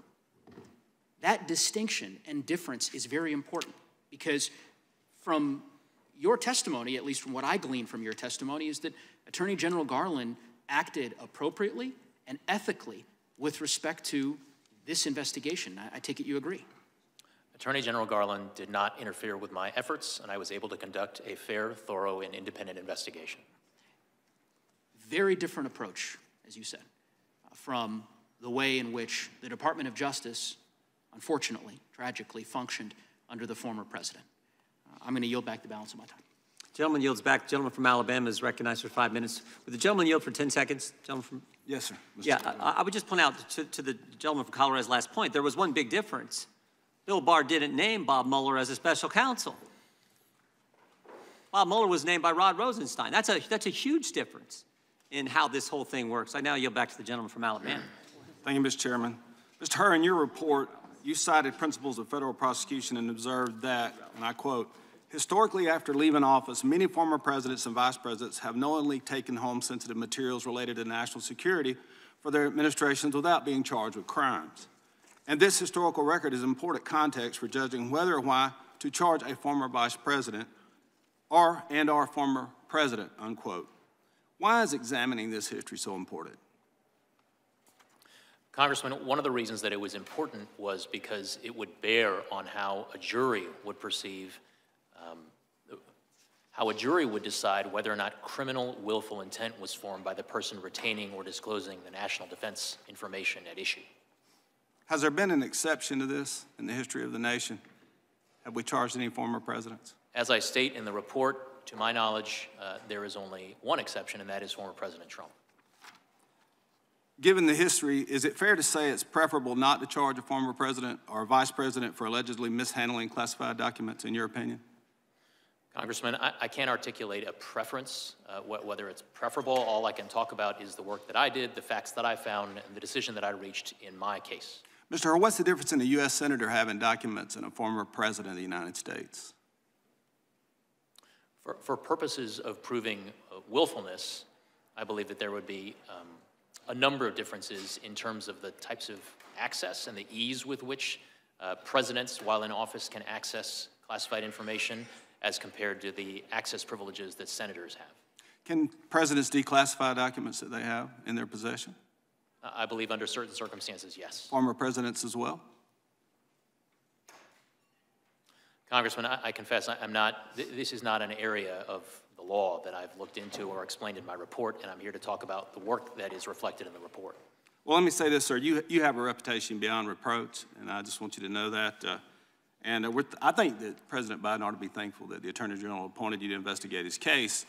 But uh, you have a special counsel colleague by the name of Jack Smith who cannot lay claim to such a reputation. Isn't that right? I have no opinion. I don't have anything to say about In fact, Jack Smith, whom Biden Justice Attorney General Garland, uh, Garland appointed to investigate President Trump, has a reputation, according to deep-rooted reporting from the Washington Times, as an overzealous prosecutor who relies ethically or on ethically dubious tactics, unquote. And his prosecutorial record is replete with a quote, and I'm, with a quote, let me say this, string of mistrials and overturned convictions. Actually, Chief Justice Roberts once rebuked Mr. Smith's prosecutor, prosecutorial theory as a boundless interpretation of federal bribery statute. That did not comport with the text of the statute or the precedent of this court, according to uh, the Supreme Court justice. And uh, so, you know, my question is, do you think in the case of Jack Smith, um, do you think justice is blind when he's looking at President Trump? Since we've never done this in the history of the country, is justice truly blind? Sir, I'm not here to express any opinions with respect to a pending case against another defendant. I was, I'm here to talk about the work that I did with respect to the investigation relating to President Biden. Mr. Chairman, I'll yield the balance of my time back to you.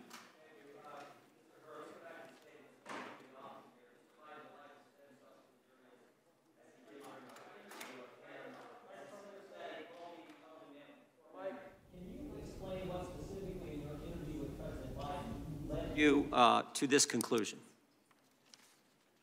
Congressman Jordan, I, am sorry, the mic was turned on yeah. partway through your Can you explain what specifically in your interview with President Biden led you to this conclusion? The conclusion um, that about broad statement that's been cited many times. Mm. The, the totality of the time that I spent um, with the president during his voluntary interview um, was something that I certainly uh, considered in, in framing my assessment and articulating it in the report. And that includes not only the words in the cold record of the transcript of the interview, but also the experience of being there in the room with him and, frankly, considering how he would present to a jury in a criminal trial if charges were brought. But I guess I'm asking specifically. I know you cite in the report the, the, dates that he couldn't remember when he was vice president, when he began, when his term ended. You cite that in the report. Is there anything else specifically that stands out from that interview with the president?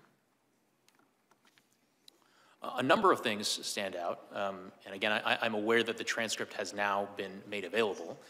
Um, I, I do provide certain examples in my report of uh, significant, personally painful experiences um, about which the president was unable to, to recall certain information. Um, I also took into account the president's overall demeanor in um, interacting with me during the five plus hour voluntary interview. So it was a, a wealth of details about being there in the moment with the president, uh, including his inability to recall certain things. Uh, and I'll also say, as reflected in the transcript, um, the fact that he was prompted on numerous occasions by the members of the White House I counsel's read that, what the brief, the brief look I had at the transcript this morning, because we just got it this morning, I, I, I saw some of that. Chair now recognize the gentlelady from uh, uh, Texas, or excuse me, Pennsylvania. I'm used to you being down there. The I- gentlelady from Pennsylvania. I got an upgrade. Okay. Thank you, Mr. Hur. Thank you, Chairman.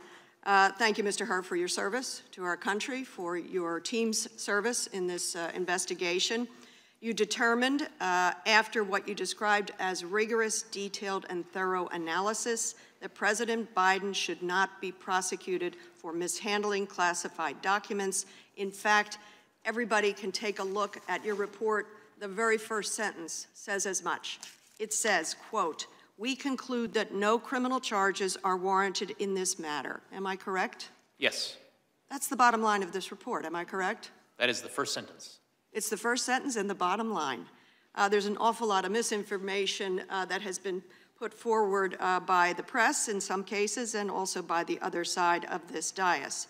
Uh, you didn't reach this decision because President Biden was sympathetic. Is that correct? Uh, I reached the decision based on the totality of the reasons that I set forth at length in my report. Based on the evidence. And uh, while Mr. Trump, who is being prosecuted, is not sympathetic, you didn't calibrate any of that in there. Sympathetic, not sympathetic. Doesn't matter. It's the evidence, right? Congresswoman, I did not reach any assessments of the evidence in the Trump matter. Um, to the extent that I considered the allegations against former President Trump, it was for purposes of comparing I relevant trust precedents. That with your credibility, you were not out to get Mr. Trump nor here to help Mr. Biden.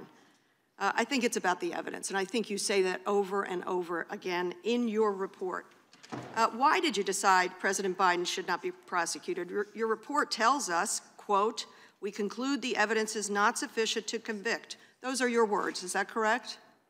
Uh, I believe if those exact words do not appear in the report, that is consistent with the gist of my conclusion. Very good. They are the, your exact words. Uh, that was not the case with Donald Trump. You have a copy of your report today, don't you, in front of you? I Would do. you read a portion of it for me? Uh, your words, it is page 11, starting on line 3, beginning with the words, unlike the evidence involving Mr. Biden. Would you read the next few sentences? Unlike the evidence involving Mr. Biden, the allegations set forth in the indictment of Mr. Trump, if proven, would present serious aggravating facts. Keep going. Uh, Congresswoman, I'm happy to have you read the words in my report. Well, it's your report, so I think it actually is more fitting that you read those. Most notably, after being given multiple chances to return classified documents and avoid prosecution, Mr. Trump allegedly did the opposite. Keep going. According to the indictment, he not only refused to return the documents for many months, but he also obstructed justice by enlisting others to destroy evidence and then to lie about it. You may stop there. Thank you. You mentioned the indictment against Mr. Trump for mishandling sensitive classified national security information. That indictment says at the end of his presidency, Mr. Trump, I'm looking for my indictment here. I have it here. Hang on. Mr. Trump himself ordered that boxes containing classified materials go to Mar-a-Lago, where he hosted tens of thousands of guests. Then he kept these sensitive materials carelessly about the property, as you can see here. Classified documents ended up in a bathroom, a ballroom, on a floor, spewed about. Uh, and when a grand jury subpoenaed the documents, what did Donald Trump do? The indictment again shows uh, against him what he responded by, suggesting that his attorney falsely represent that the FBI and grand jury that he did not have documents called for by the subpoena. He directed his employee, Waltine Nauta, to move boxes of the documents to conceal them from Mr. Trump's attorney, and then lied to his attorney uh, and the FBI and the grand jury, suggesting uh, his attorney might hide or destroy documents uh, called for by the grand jury investigation. Mr. Hur, are those the type of aggravating facts to which you refer to in your report? Congresswoman, the, um, the aggravating facts that I refer to in the report um, are set forth and described in my report at page 11. Very good. Uh, Mr. Hur, to the best of your knowledge and investigation, did President Biden ever direct an employee to lie about, hide, or destroy classified information? Yes or no? We did not identify such evidence. Did he do so himself? We did not identify such evidence. And I want to give you a chance, since the transcript is out, uh, to correct the record on an important point. Uh, very sadly, uh, your report on page 208 says that Mr. Biden couldn't come up with the date, the year of his son, Beau Biden's death, when in fact in the transcript it shows that you asked him the month. And do you know what he said, Mr. Hur? He said, oh God, May 30th. Would you like to correct the record? His memory was pretty firm on the month and the day. Congresswoman, I don't believe that's correct with respect to the transcript, but if you could refer me to a specific page, I'd be happy to look. I, I've read about it in reporting. Thank you. I yield back. Chair now recognizes Mr. Kiley. Mr. Hur, why did the White House ask you to remove parts of the report? What was the reason they gave for that? Uh, I don't have the letter in front of me, Congressman. Uh, I believed that among uh, their reasons was that they contested or that they, they asserted that certain language in the report was inconsistent with DOJ policy. The day that your uh, report came out, the president gave a, uh, a live uh, news conference on national television. Did you watch that uh, news conference? I watched the press conference, yes. What was your reaction to seeing the president uh, personally attack you and your team? Congressman, I'm here to talk about the work that went into the report and my declination decision and my explanation of it for the attorney. And it wasn't just the president. Uh, Anthony Coley, former spokesman for Merrick Garland, uh, has said that Democrats should focus their ire on Hur. Uh, the president's per personal attorney, Bob Bauer, said that your report, report is a shabby piece of work and a shoddy work product. Do you agree with that characterization of your report? I disagree ve vehemently with that characterization of my report. I also disagree. I think it's very well written, uh, well considered, uh, and comprehensive. Do you think it's appropriate for the administration to be attacking the work of a special counsel that it appointed itself? Congressman, I'm not going to comment on the propriety of the administration's reaction to my report. What I can tell you is that I stand by the report and the work that went into it. Today, the ranking member started his opening statement by saying Mr. Hur completely exonerated President, President Biden and called your report a total and complete exoneration. Mr. Hur, did you completely exonerate President Biden? That is not what my report does. Was your report a total and complete exoneration? That is not what the report says. So the statement by the ranking member was incorrect, yes? Um, as I said, the, the report is not an exon exoneration. That word does not appear in my report. Based on the facts and anticipation of defenses presented in your report, could a reasonable juror have voted to convict? As I said in the report, some reasonable jurors may have reached the inferences that the government would present in its case in chief So a reasonable juror could have voted to convict based on the facts that you presented? Correct. If you were on the jury, would you have voted to convict? Uh, I have not engaged in that thought exercise, Congressman, and so what I'd like to stick to is what's in the report, which is my assessment as a prosecutor. Sure. And what you did find uh, in the report is that the president, uh, you said this is page 200, risks serious damage to America's national security through his handling uh, and mishandling of classified materials. And you identify, quote, a strong motive for the way he handled those materials. Uh, two of the motives you cited was his desire to run for president and his desire to sell books. So a reasonable inference for your report is that the president risked serious damage to America's national security in order to make money and advance his personal political ambitions. Is that correct? The report includes a description of the evidence and um, different inferences that reasonable jurors could draw from the evidence. And you also uh, note that the president described his predecessor's handling of classified materials as totally irresponsible. And your report concludes that Mr. Biden's emphatic and unqualified conclusion that keeping marked classified do documents unsecured in one's home is totally irresponsible applies equally to his own decision. Is that correct? That language does appear in the report. You cite as a mitigating factor uh, the fact that the president uh, cooperated in the investigation. But at the time that the investigation was happening and these acts of cooperation occurred, the Mar-a-Lago investigation was already a matter of public record, correct? I believe that's correct. So we already had a public debate about the handling of classified documents and the potential application of the criminal laws to that general set of circumstances. I think that's fair. And so the president, when he decided to cooperate or not cooperate, had to know that that decision to cooperate or not cooperate would become known to the public and he would be judged according, accordingly. Is that correct? I'm not in a position to opine on what was or was not in the president's. But it's relevant to your analysis as to whether or not it counts as a mitigating factor. If he knew that he was going to have to be judged based on whether he cooperated or not, that would lessen its value as a mitigating factor. So did that in your analysis lessen its value?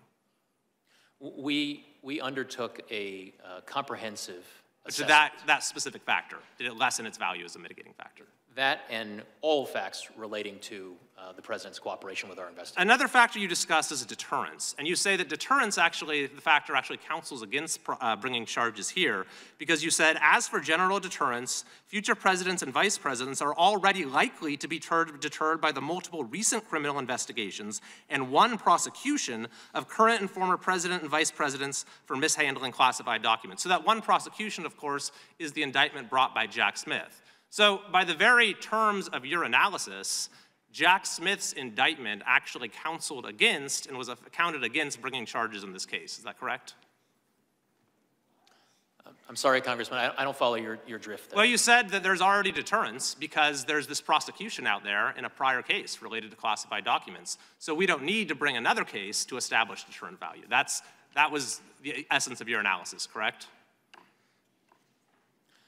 Congressman, what, what I'll say is that I will stand by the, the, the way and the specific words in which I characterize my assessment of deterrence value of a, of a case under the principles of federal prosecution that's on page 254 and 255 of my report. Thank you. My time is out, but I'll just add the perverse implication here is that the administration, by the very terms of your analysis, actually made it less likely that the president would face charges by Jack Smith bringing an indictment. Thank you, and I yield back.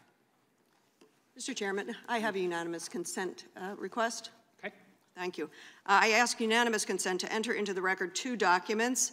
Uh, first, the su superseding indictment against Donald Trump in the Southern District of Florida, where he is currently facing criminal charges on 40 counts, including obstruction of justice, lying to the FBI, his unlawful, willful retention of national defense Without objection, the indictment is, is the concealment of documents from law enforcement, among other things. That was the shortened version.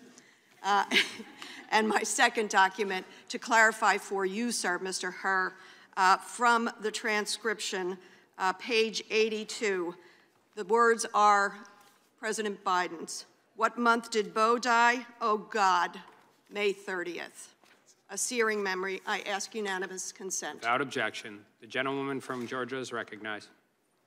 Uh, thank you, Mr. Chair and Ranking Member, for this hearing, and thank you so much for um, spending so much time with us today, Special Counsel Hur. In accordance with the law, classified information must be treated with the highest respect and also protected. And President Biden has made it clear during this investigation and long before that he agrees. In response to Mr. Hur's report, he said, and I quote, over my career in public service, I've always worked to protect America's security. I take these issues seriously, and no one has ever questioned that, end quote. The special counsel's report makes clear that this is unfortunately a common occurrence for classified documents to get swept up into members of Congress or executive branch of, branches, uh, officials' uh, personal effects. And as soon as President Biden discovered that he had mistakenly kept classified material, he took swift and immediate action to ensure that those materials were returned, and he fully cooperated with every step of your investigation. President Biden's predecessor, when dealing with the issue of having classified materials, took very different steps. In 2016, Donald Trump declared, and I quote, I'm going to enforce all the laws concerning the protection of classified information. No one will be above the law, end quote. Yet when his lawyer told him that it was going to be a crime if he didn't return the classified documents that he had after NARA, the DOJ, and the FBI requested multiple times that Trump returned the classified doc documents, yet he hid them. Trump himself acknowledged that the same year that service members have risked their lives to acquire classified intelligence to protect our country, yet he decided that his desire to keep these documents outweighed the potential loss of life for these people if those papers got out. Not only did Trump have a legal obligation, he also had a moral obligation to all of us, and he failed to live up to that. Mr. Hur, thank you for being here today. I'd like to talk about your report regarding President Biden and some of your findings. Uh, and for the sake of time, if you don't mind just answering yes or no, please answer this question. Page 187 of your report reads, at no point did we find evidence that Mr. Biden intended or had reason to believe the information would be used to injure the United States or to benefit a foreign nation. Is this what you reported? For the sake of time, please answer yes or, yes or no. Congresswoman, you said page 187? Of your report, yes. Ah, yes. At no point did we find evidence. Yes, that language is on page 187. Okay, so then this is what you reported, correct? Yes. That language is in my report. Okay, and Mr. Hur, you acknowledged on page 12 of your report that there are, as you said, numerous previous instances in which marked classified documents have been discovered intermixed with the personal papers of former executive branch officials and members of Congress. Please, once again, can you confirm for us, yes or no, the answer whether this is what you reported? That language appears at page 12 of my report.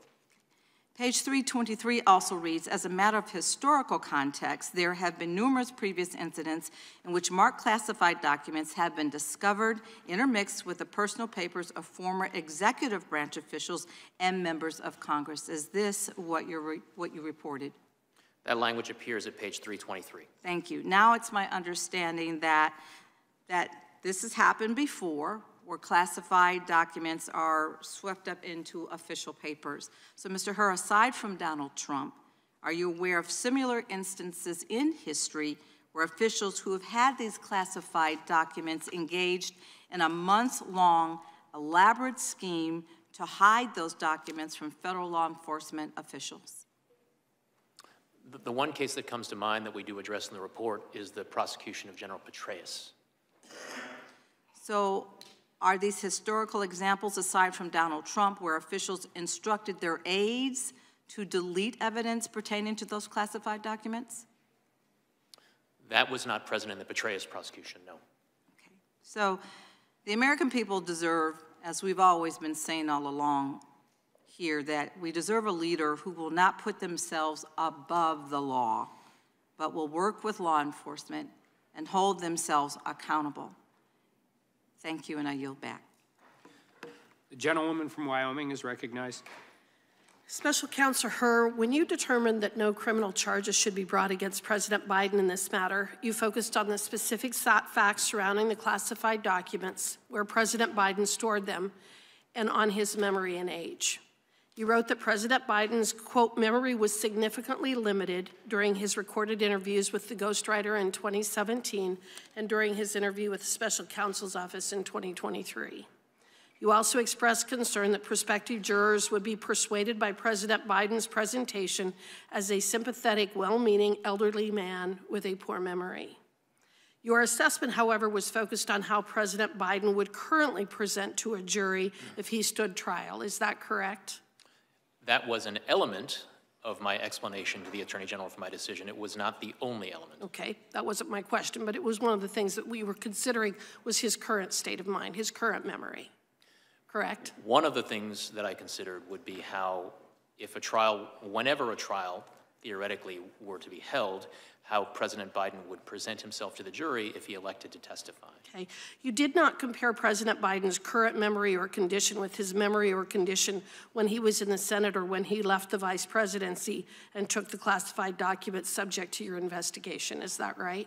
Actually, I believe that's not correct, Congresswoman. One of the things that's in the, in the report is an assessment of um, the president's memory based on recordings from the 2016-2017 timeframe, recordings of conversations between Mr. Biden and his ghostwriter, and comparing that with the president's memory that he exhibited during our interview of him in October of 2023. So there was a comparison there. Okay, so, but in, unless there was some issue undisclosed to the American people during his 50 years in office, you found that Mr. Biden fully understood his legal responsibility related to the handling of classified materials, which is why you concluded in your report that Mr. Biden, quote, willfully retained and disclosed classified materials after his vice presidency when he was a private citizen. You state that on page one, correct?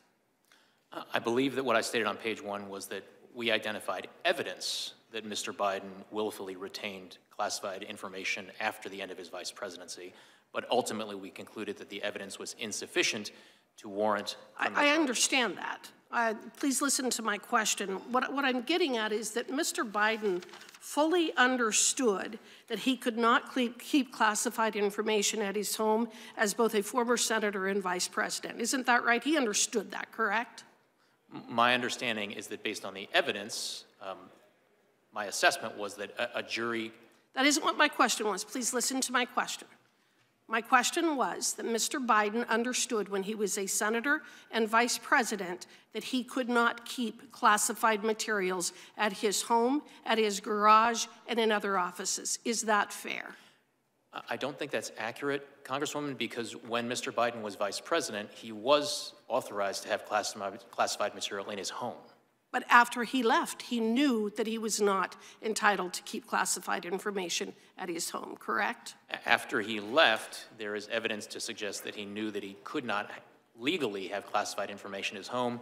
However, there is evidence with respect to his notebooks that he believed he was authorized to keep the notebooks at home based on precedent. Based on precedent.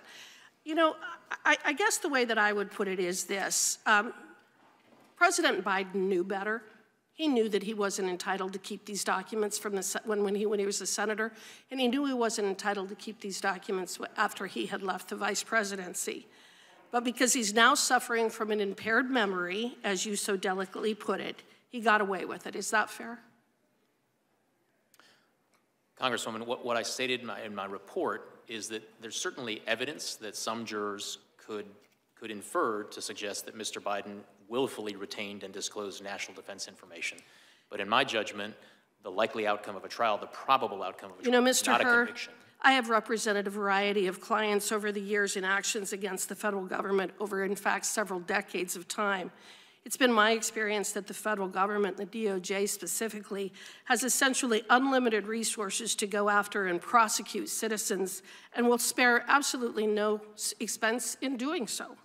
It has also been my experience that the DOJ is not only overly aggressive in these cases, but makes it clear that part of the reason for such aggression is to make an example of the poor soul who is the subject of such action.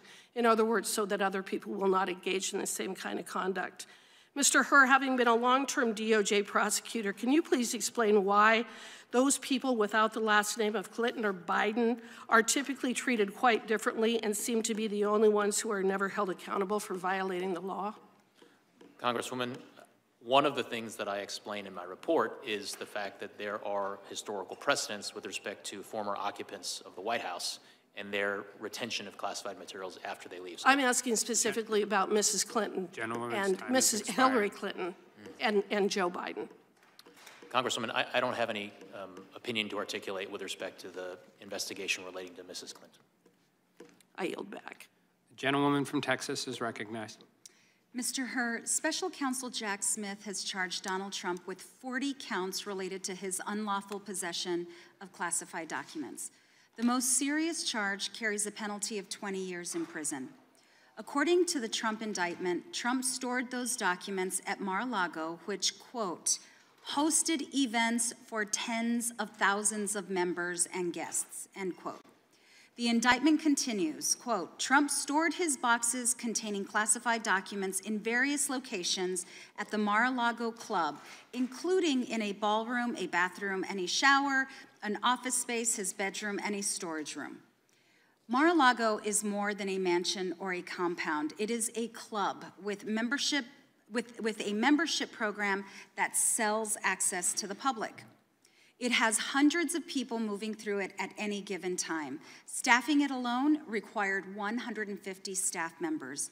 And while those classified national security doc documents sat in places like his ballroom, Trump hosted more than 150 social events like weddings and movie premieres, which thousands of people attended.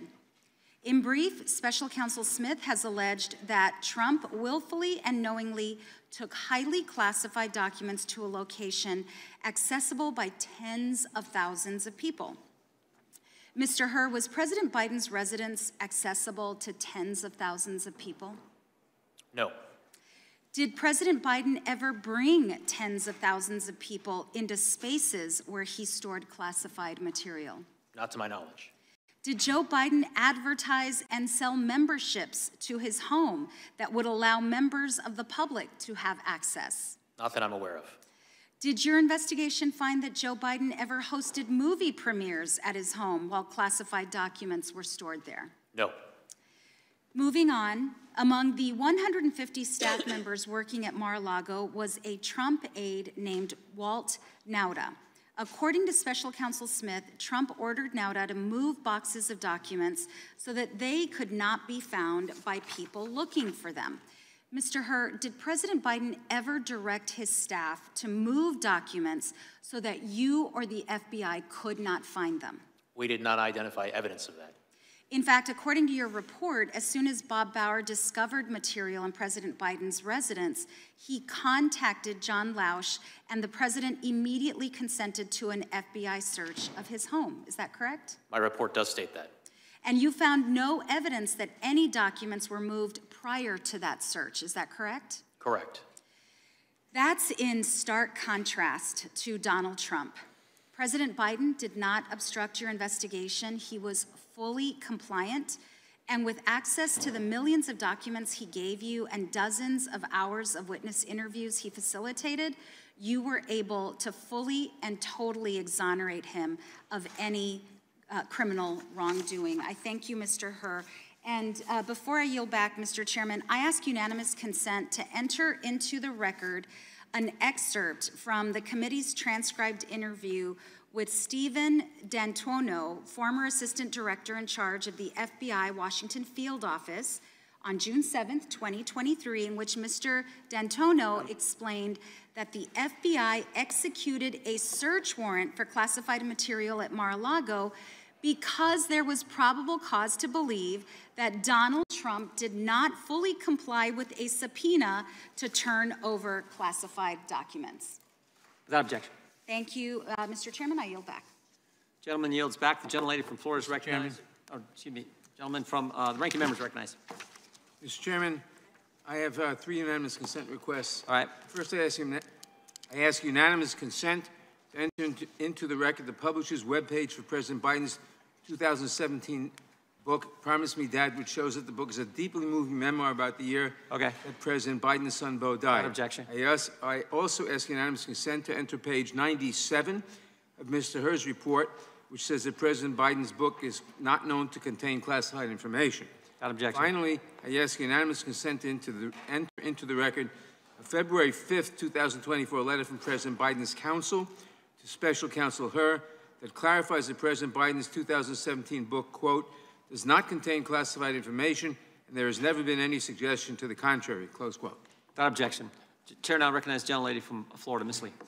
Thank you, Mr. Chairman, and thank you, Special Counsel Hur, for joining us here today to discuss your investigation uh, regarding President Biden's mishandling of classified documents. This has become an issue of great interest to all Americans and, of course, to all of us here today.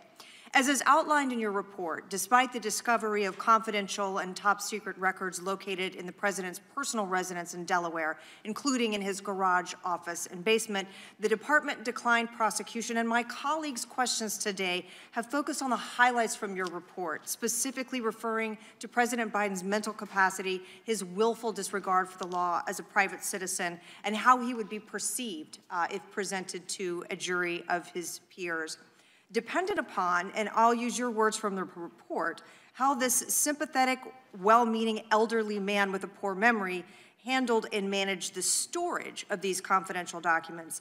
The national security of the United States might have been put at great risk because of the president's behavior. And so one of the things we must consider today is how we can ensure that our national security will not be continually put at risk when under the leadership of the same well-meaning elderly man with a poor memory. Since the release of the report, to your knowledge, has the Justice Department started to analyze a damage assessment of what may have been disclosed uh, by these documents being mishandled and any ongoing national security risks from the uh, inappropriate storage and retention of the documents? Congresswoman, my understanding is that such a damage assessment um, is underway in coordination and cooperation with the members of the intelligence community. And do you today, for us, have any information about the status of that investigation or how long it might take to conclude? I do not, Congresswoman. I'd like to turn your attention to a discussion of the distinction between proving the underlying elements of an offense and the concept of an obstruction of justice charge. Uh, is it correct, Special Counsel Hur, that in some circumstances as a federal prosecutor, you may investigate the underlying offense, an underlying offense, choose not to charge that offense, but still have developed sufficient evidence to charge a defendant with obstruction of justice? I think as a matter of law, theoretically, that could occur. Um, I can't bring to mind um, specific examples of that happening, but I- I suppose that if that were to happen, it would be a more difficult case to try from a Well, the elements are distinct, though, are they not? They are a distinct element. And isn't it, uh, isn't it similar to a case where a federal prosecutor undergoes an investigation uh, and ultimately doesn't uh, pursue the original charge they were investigating, but during the course of the investigation concludes that a false statement was made to a federal law enforcement officer and, and brings a charge under 1001? That could happen, Yes. And, and the, again, there too, the elements would be different. Correct. And in reaching your final decision related to the declination or the recommendation to decline prosecution, you considered both the underlying elements of the offenses at issue and also the principles of federal prosecution. Is that right? Correct. Now, the principles of federal prosecution, those are things that may vary case to case. Is that right? The determinations under the principles of federal prosecution are very fact and circumstance dependent. But the elements of the criminal offense are not. Isn't that also correct? Elements are defined by law, and um, they do not vary from case to case. And thus, those elements of the underlying criminal offense would be exactly the same from one defendant to the next to the next. Isn't that right? Yes. So you would expect, would you not, that a prosecutor who was considering the underlying offenses that you were considering here would be looking at exactly the same elements and requirements of proof that you did on the underlying charges? Prosecutors assessing their cases under the same statutes um, must consider the same elements with respect to those statutes. All right, thank you, Special Counsel Hur. And then if we could um, turn back to the concept of those uh, principles of federal prosecution, those are the additional factors aggravating or mitigating that you might consider in ultimately reaching a charging decision here. Is that right? They- They do include such things that, that that are referred to as aggravating and mitigating circumstances. There's one thing I want to go back to, though, to be clear. It's been said today that your report is tantamount to a total exoneration of President Biden. That's not correct, is it? That is not correct. All right, thank you, sir. I yield the balance of my time to the chair. Uh, Gentlelady is back. Uh, The chair now recognizes the gentlelady from uh, uh, North Carolina. Thank you very much, Mr. Chairman, and thank you, Mr. Hur, um, also for your patience. You're almost to what, three and a half hours? So almost as much as Biden. Um, throughout your report, you repeated you repeatedly cite and credit a number of innocent explanations for the presence of classified materials at the president's home and other locations. innocent explanations that you admit that you cannot refute. And I'd like to just focus on a few of them, and I'll give you um, citations. One of these explanations for the presence of classified documents is that a member of the president's staff maintained those documents when he was the vice president and then mistakenly included them in sets of documents that were later sent to, the loca to locations such as the Penn Biden Center and the University of Delaware. Is that correct? I- believe that's correct, but if you have a specific page number for me, that would help me, Congressman. We'll, we'll get you one. That would be great. Um, you also found that another innocent explanation to be more likely than a criminal explanation for the presence of classified documents that were found at the Penn Biden Center and the um, University of Delaware. Is that correct? Correct. Great. And then let's talk about the documents in the president's garage. As you noted, a reasonable juror could conclude that the location of the documents, surrounded by household junk, is not a place where a person knowingly and intentionally stores classified documents that are critical to his legacy.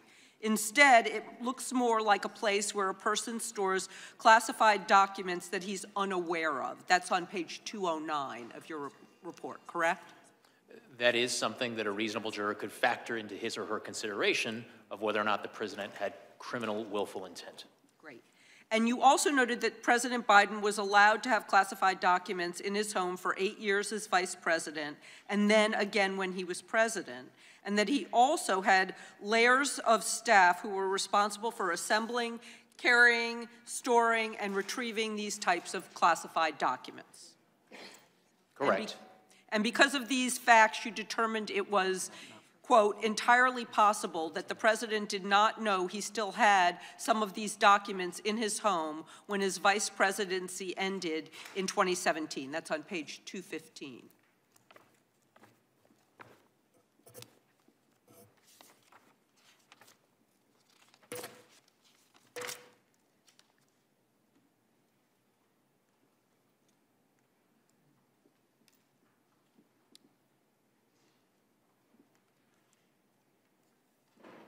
Entirely possible. Entirely possible. Yeah. So that's the citation. I'm going to go, keep going because my time is running while you're looking.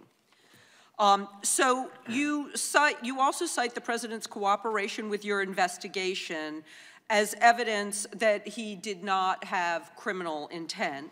And I want to quote you here because this is important. You wrote, most significantly, Mr. Biden self-reported to the government that the Afghanistan documents were in his Delaware garage and consented to the search of his house to retrieve them and other, and other classified materials. He also consented to searches of other locations, and later in the investigation, he participated in an interview with our office that lasted more than five hours and provided written answers to most of our written questions. Many will conclude that a, pres a, president who knew he was illegally storing classified documents in his home would not have allowed such a search of his home to discover those documents and then answered the government's questions afterwards, page 210. And then you said that you expect this argument about the president's innocence to carry real force for many reasonable jurors, because in your words, reasonable jurors will conclude that Mr. Biden, a powerful, sophisticated person with access to the best advice in the world, would not have handed the government classified documents from his own home on a silver platter if he had willfully retained those documents for years. Just as a person who destroys evidence and lies often proves his guilt, a person who produces evidence and cooperates will seem by many to be innocent. Again, page 210.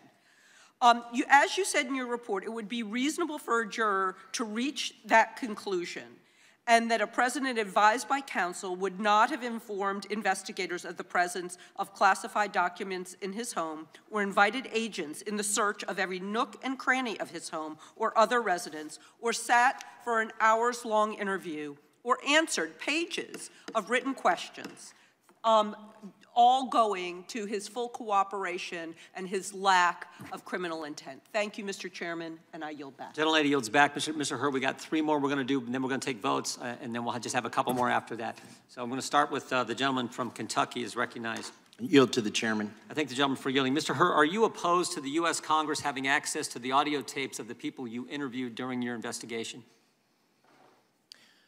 Chairman, I, I, am not in a position to articulate an opinion one way or the other. That is not really up to me. I'm a former employee of the Department of Justice. I would refer you to the White House and DOJ leadership. You're an accomplished lawyer. Is there any reason why we shouldn't? Why the United States Congress shouldn't have access to the same information you had access to and that was the basis of your decision? Chairman, it is not for me to opine on what materials. Well, the Justice Department released the transcripts the day of the hearing. It'd been nice if we'd had them at a more, I think, a better time for the committee to prepare for our questioning for you. They released them today. The White House and the Justice, Justice Department released them today. It'd be nice if we actually had the audio tapes too. Again, is there any reason why you, you can see why the American people and their representatives in the United States Congress should not have access to those tapes? Chairman, what I can tell you is that my assessment um, that went into my conclusions uh, that I described in my report was based not solely on the transcript. It was based on all of the evidence, including the audio recordings. Great point, that's where I was going. So this was valuable evidence for you as the special counsel named to investigate this issue, valuable evidence for you to reach your conclusion, and, and the statements you put in your report. And all I'm asking is, shouldn't the United States Congress have access to that same information? Chairman, again, it, it is not for me to weigh into what information Congress should or should not have, but what I will tell you is that the audio recordings were part of the evidence, of course, that I considered in coming to my conclusions. I will yield back to the gentleman from Kentucky and hopefully can yield to the gentleman from North Dakota. Yield to the gentleman from North Dakota. Thank you, Mr. Hur. In Chapter 8 of your book, or your report, you detail that Mr. Biden retained in his Delaware basement classified documents relating back to his time as a U.S. Senator in the 70s, correct? Correct. And even more Senate papers dating back to the 70s through 1991 were found in the University of Delaware, Morris Libraries, and in the Biden Senate Papers collection, correct? Correct. And even more Senate papers dating back to the 1970s and 1980s were found in Biden's Delaware garage. I believe that's, yes, that's correct. And quote, Mr. Biden had nearly 50 years' experience dealing with classified information, including as a member of the Senate Select Committee on Intelligence, a member and chairman of the Senate Committee on Judiciary, a member and chairman of the Senate Committee on Foreign Relations, and vice president of the United States. And that he was deeply familiar with the measures taken to safeguard classified information and the reasons for them, correct? That language certainly sounds familiar, Congressman, but if you have a page citation for me, I can confirm. And as, and as vice president, is it correct that in 2011, Mr. Biden received advice from his staff about the need to secure classified information in the form of notes, Correct. including his first counsel, er, his first counsel, Cynthia Hogan? Correct. And he was advised in writing in 2011 by Hogan that classified notes must be obtained in secure safes and stored in secure facility. Correct. His second counsel, John McGrail, also advised Biden that all of Mr. Biden's records, including his notes, would be sent to the National Archives, and Biden understood and accepted that, correct? That's correct, with the exception that Mr. McGrail was uh, Vice President Biden's final counsel, not his second one. All right. And on his way out, Mr. Biden was also appraised of his obligations by the National Archives staff twice more that his classified notes should be secured in a SCIF. That particular fact is not immediately coming to mind, Congressman, but um, if you have a page citation, I can confirm it for you. Well, did Mr. Biden have 30 years' experience handling this information? He received advice from at least two separate counsels, the National Archives staff. He has demonstrated enough knowledge of the law to attack, attack President Trump in public over the same exact issue in detail. This is where I get into this. It, I, I just have a problem with this. In your report and this testimony, a reasonable person would conclude that Mr. Biden knowingly retained national defense information and failed to deliver it to an appropriate government official, and that he knew his conduct was unlawful. And I think that's where we end up here, and that's what the point is. Over the last three election cycles, there's only been three people who have ran for president Hillary Clinton, Joe Biden, Donald Trump. All three of them have been accused of mishandling classified documents. Only one of them has been prosecuted. And that's what the American people see. That's what we see. We had Hillary Clinton, who ran a program called BleachBit on her server. They used hammers to destroy evidence. Joe Biden has a 50 year history of misplacing classified documents in numerous different position, places. All of these cases have the same underlying elements of the crime, the same fact patterns, and yet we only see one person being prosecuted. And with that, I yield back to the gentleman from Kentucky.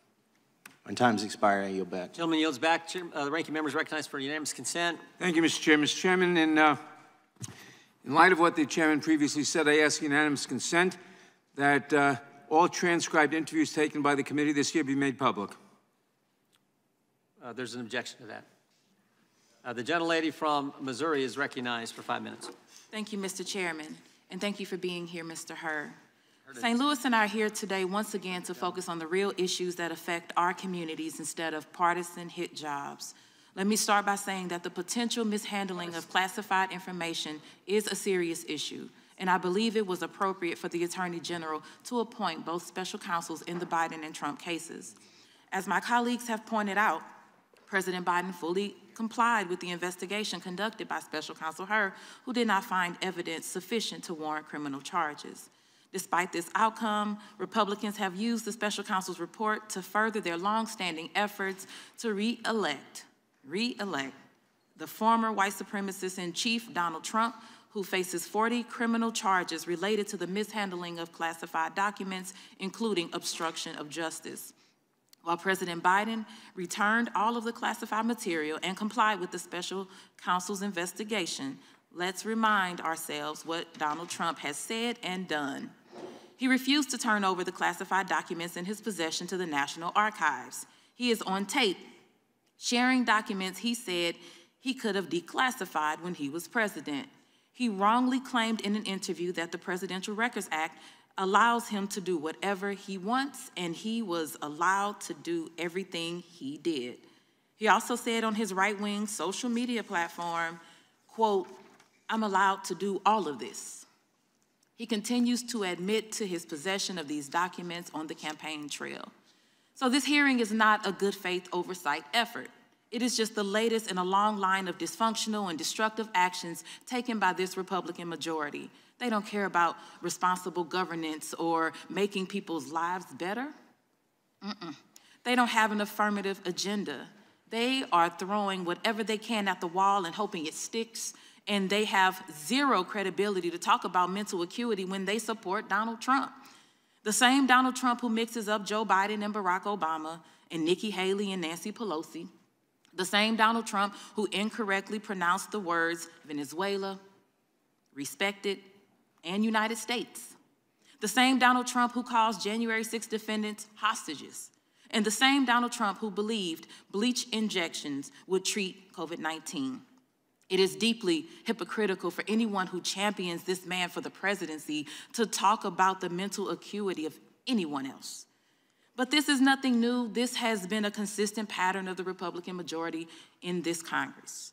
From the sham impeachment investigation that has completely collapsed to the absurd impeachment of Secretary, Secretary Mayorkas Republicans have solely focused on destroying the incumbent president, destroying the Democratic Party, destroying progressive movements for social justice, all so that they can re elect one of the worst presidents of all time.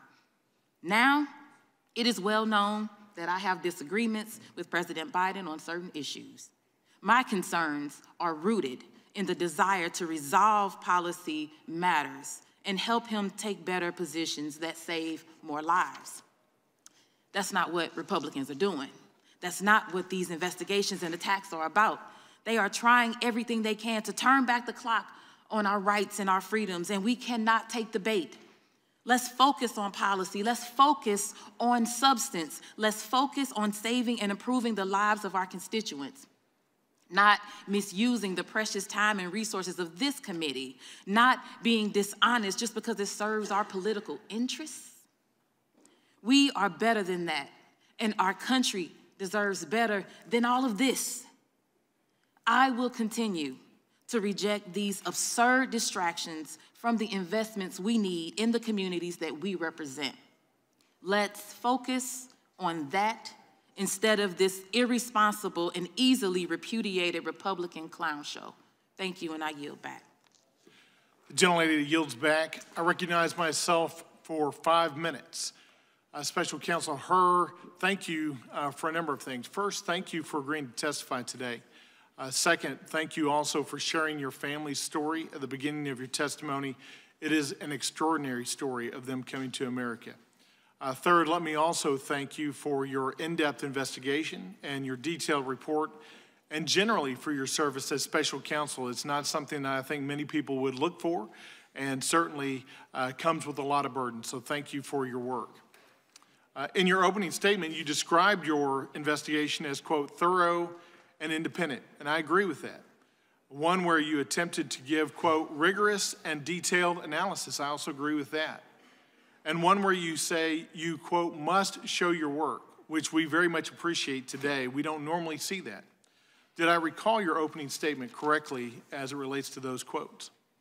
Yes, sir, you do. In fact, as part of your investigation, you interviewed more, about 150 different witnesses. You, you looked at millions of different documents because you wanted to do a thorough investigation. Isn't that true? Correct. And you did this because you took your investigation extremely seriously and you wanted to reach accurate conclusions, correct? Very much. Then let's uh, review some of your specific findings regarding the, the issues pertaining to competency and mental capacity uh, of President Biden. Because as you say, this is very important to whether or not there was criminal willful intent. As you can see, I've set forth a number of uh, different quotes up here on this board that I've prepared, some of which I'll read to you. Page five, you say Mr. Biden's quote, Mr. Biden's memory was significantly limited. Then again on page six, you say Mr. Biden would likely present himself to a jury as a sympathetic, well meaning, elderly man with a poor memory. Then on page 207, you say Mr. Biden's memory also appeared to have significant limitations. And then again on page 208, he did not remember when he was vice president, and he did not remember even several, even within several years when his son Beau died. You finally make the statement on page 248, quote, for these jurors, Mr. Biden's apparent lapses and failures in February and April 2017 will likely appear consistent with the diminished capacities and faulty memory he showed. Uh, those were astounding conclusions to me, and as I looked through those quotes, I have to say I hearken back to my time before Congress. I was a judge, and one of the things that I oversaw was guardianships. And frankly, when I read your when I read your conclusions, red flags began to go up in my mind because I oversaw hundreds of guardianships back in Texas. And as I saw your conclusions, I began to wonder what does the DC statute say about guardianships and how you define an incapacitated individual in Washington, D.C.? And I want to show you this statute because I presume, are you familiar with the statute at all?